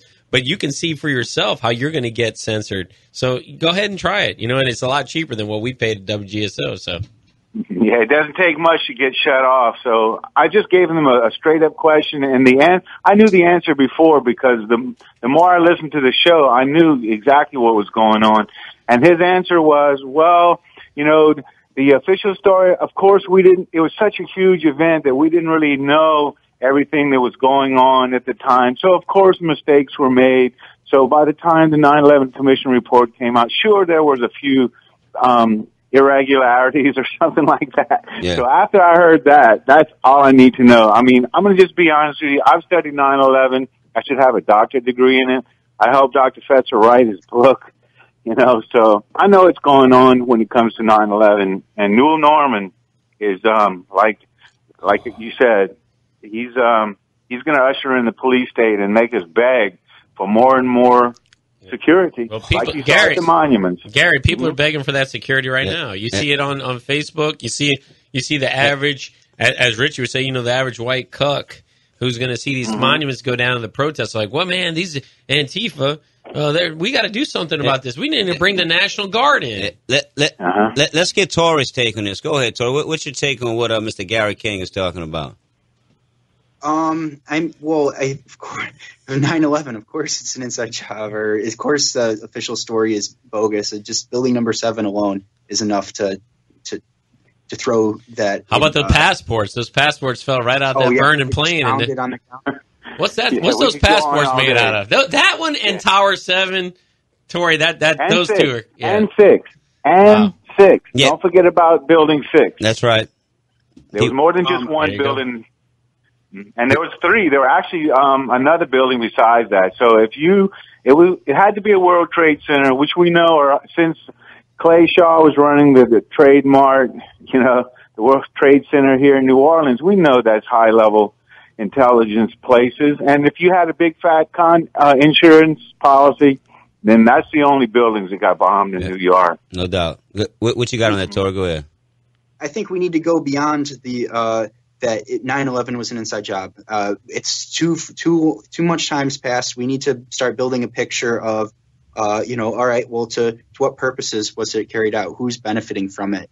Uh, clearly not the, the, the Muslim Oh. nations. Oh, he's bring, he's bringing he's bringing up the nation you can't talk about. Mm, know, like, and you Newell know- Normand down to the local level, he's benefited like a madman from all this. Yeah, Go ahead, Torrey. So Sorry to cut the, you off. The thing is, it's like people, the people that don't want to um, uh, admit it or don't want to do their own thinking, and uh, because they're just waiting for the news to say it, like what they need is for somebody to be able to explain it to them in a way that it, it makes sense and that um, so they don't have to do like really any work. So what we need to be doing is building this uh, a coherent picture of uh, the power structure that's in place that that is benefiting from it. Just build a court case on it, and um, I mean it's all right in plain sight. So we kind of have to get over the fact that uh, it was an inside job. We um, I want to I want to know more about what our relationship to Israel is. Um, Hidden in and, sight, uh, yep. and I want to know more about what our relationship with Saudi Arabia is, and uh, to uh, to Europe, and um, yeah, we that's that's yeah, important. let me just say this. The, the United States is a province of Israel. It's as simple as that. Um, the dual, what I think it's the AIPAC. AIPAC, Um, American Israeli yeah. Public Affairs Committee. That's right. And if you don't sign the uh, oath of allegiance, there's, there's only one person in Congress. His last name is Jones, Walter Jones, I believe. Yeah. He is the only congressperson in the entire Congress that we have that have not signed the oath of allegiance to Israel to basically any legislation that comes their way, Israel's has to come first. And, and everyone has signed it down to Steve Scalise. Oh, everyone. You just name the congressperson. If their name's not, I think it's Walter Jones. It and they signed it. What's going to happen to him? then- he can come hide out with us. Yeah, well, they tried to get rid of him, but somehow he just went ahead and got elected. And then if you want to come to the dual citizenship issue, you know, if you want me to roll off a few names, I can do that. Uh, well, uh, let, dual citizen. let let Torrey respond, and then you can do it. He was about to say something. Go ahead, Torrey. yeah, go ahead. Oh, okay. I, what I was going to say is that um, you know there's there's two sides to every coin, and uh, we've we've just we know like uh, very intimately this one side of the coin, and uh, it's very incomplete. It's a very incomplete picture. We what we need to be doing is trying to see things from other people's perspective. Uh, for me, that's like. Well, what did the Afghanis think about this? What did the Iraqis think about this? Like, what does it look like from the outside looking in? And then you be, kind of begin to see that uh, of, co- of course they think it was Israel. Um, of course, of, of course uh, they like have this different picture of it, and it, neither is completely right.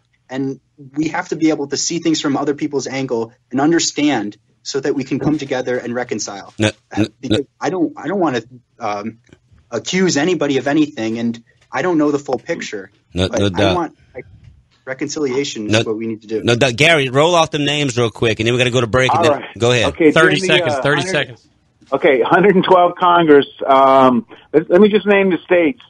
Um, well, Richard uh, Blumenthal, Barbara Boxer, Benjamin Cardin, Dianne Feinstein, Al Franken, uh, Herb K O H L, uh, Lautenberg, Frank, uh, New Jersey, Lieberman, Levin, Ber- uh, Bernard Sanders, our uh, All right, Uh, keep reading them off. We're going to break. Keep reading them off. You'll probably still be going when we get back. Battle of New Orleans All right, Radio. that was just a sentence. That was just a sentence. All right, thank um, you. We'll, we'll, be, we'll be right back. Hold on, Gary. Okay.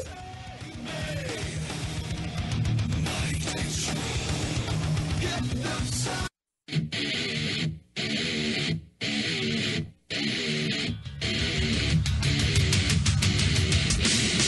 right, Battle of New Orleans Radio. We're back. Nathan, go ahead, man. Yeah, Final yeah. segment. Is Gary King still in there?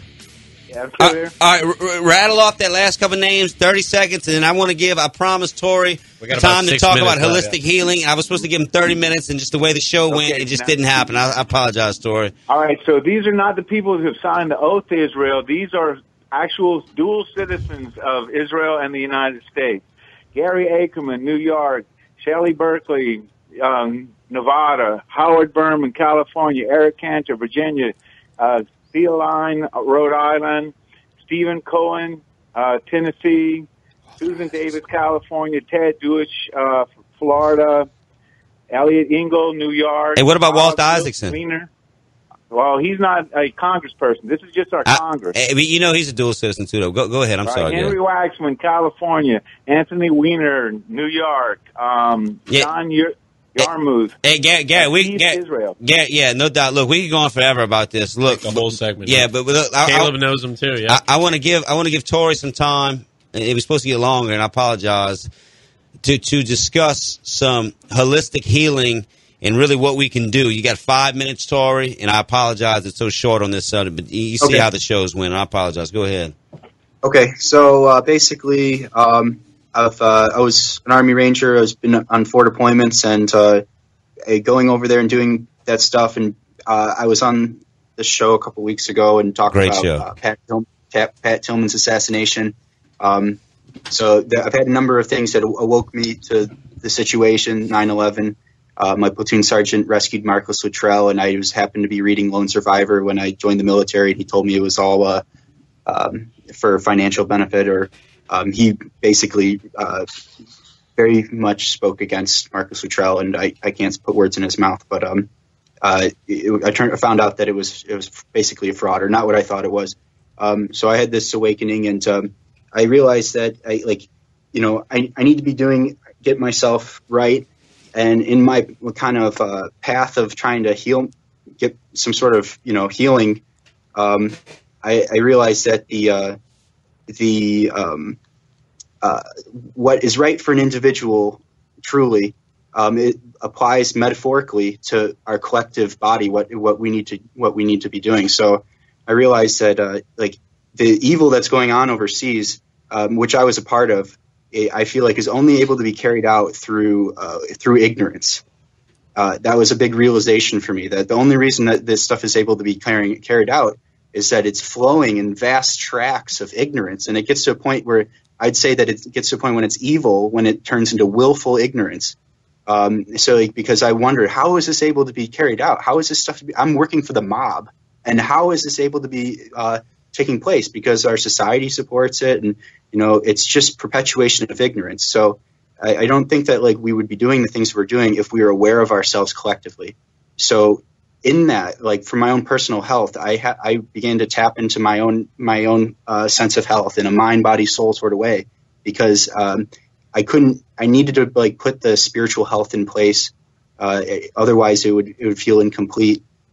And um, I started gardening um, as a form of therapy. I, I lived in a tent in Hawaii for a year and a half, and um, so I started eating healthy. I started uh, researching this like uh, GMOs and uh, uh, kind of the toxicity in our environment. And I tried to really detox myself. And like in doing that, I realized that um, you know we're a collective organism on the planet. We're one body collectively, and um, if we were able to grow towards our most holistic sense, we would if if everybody was able to to recognize that for themselves individually, we could we could turn that around and grow collectively towards our most holistic sense.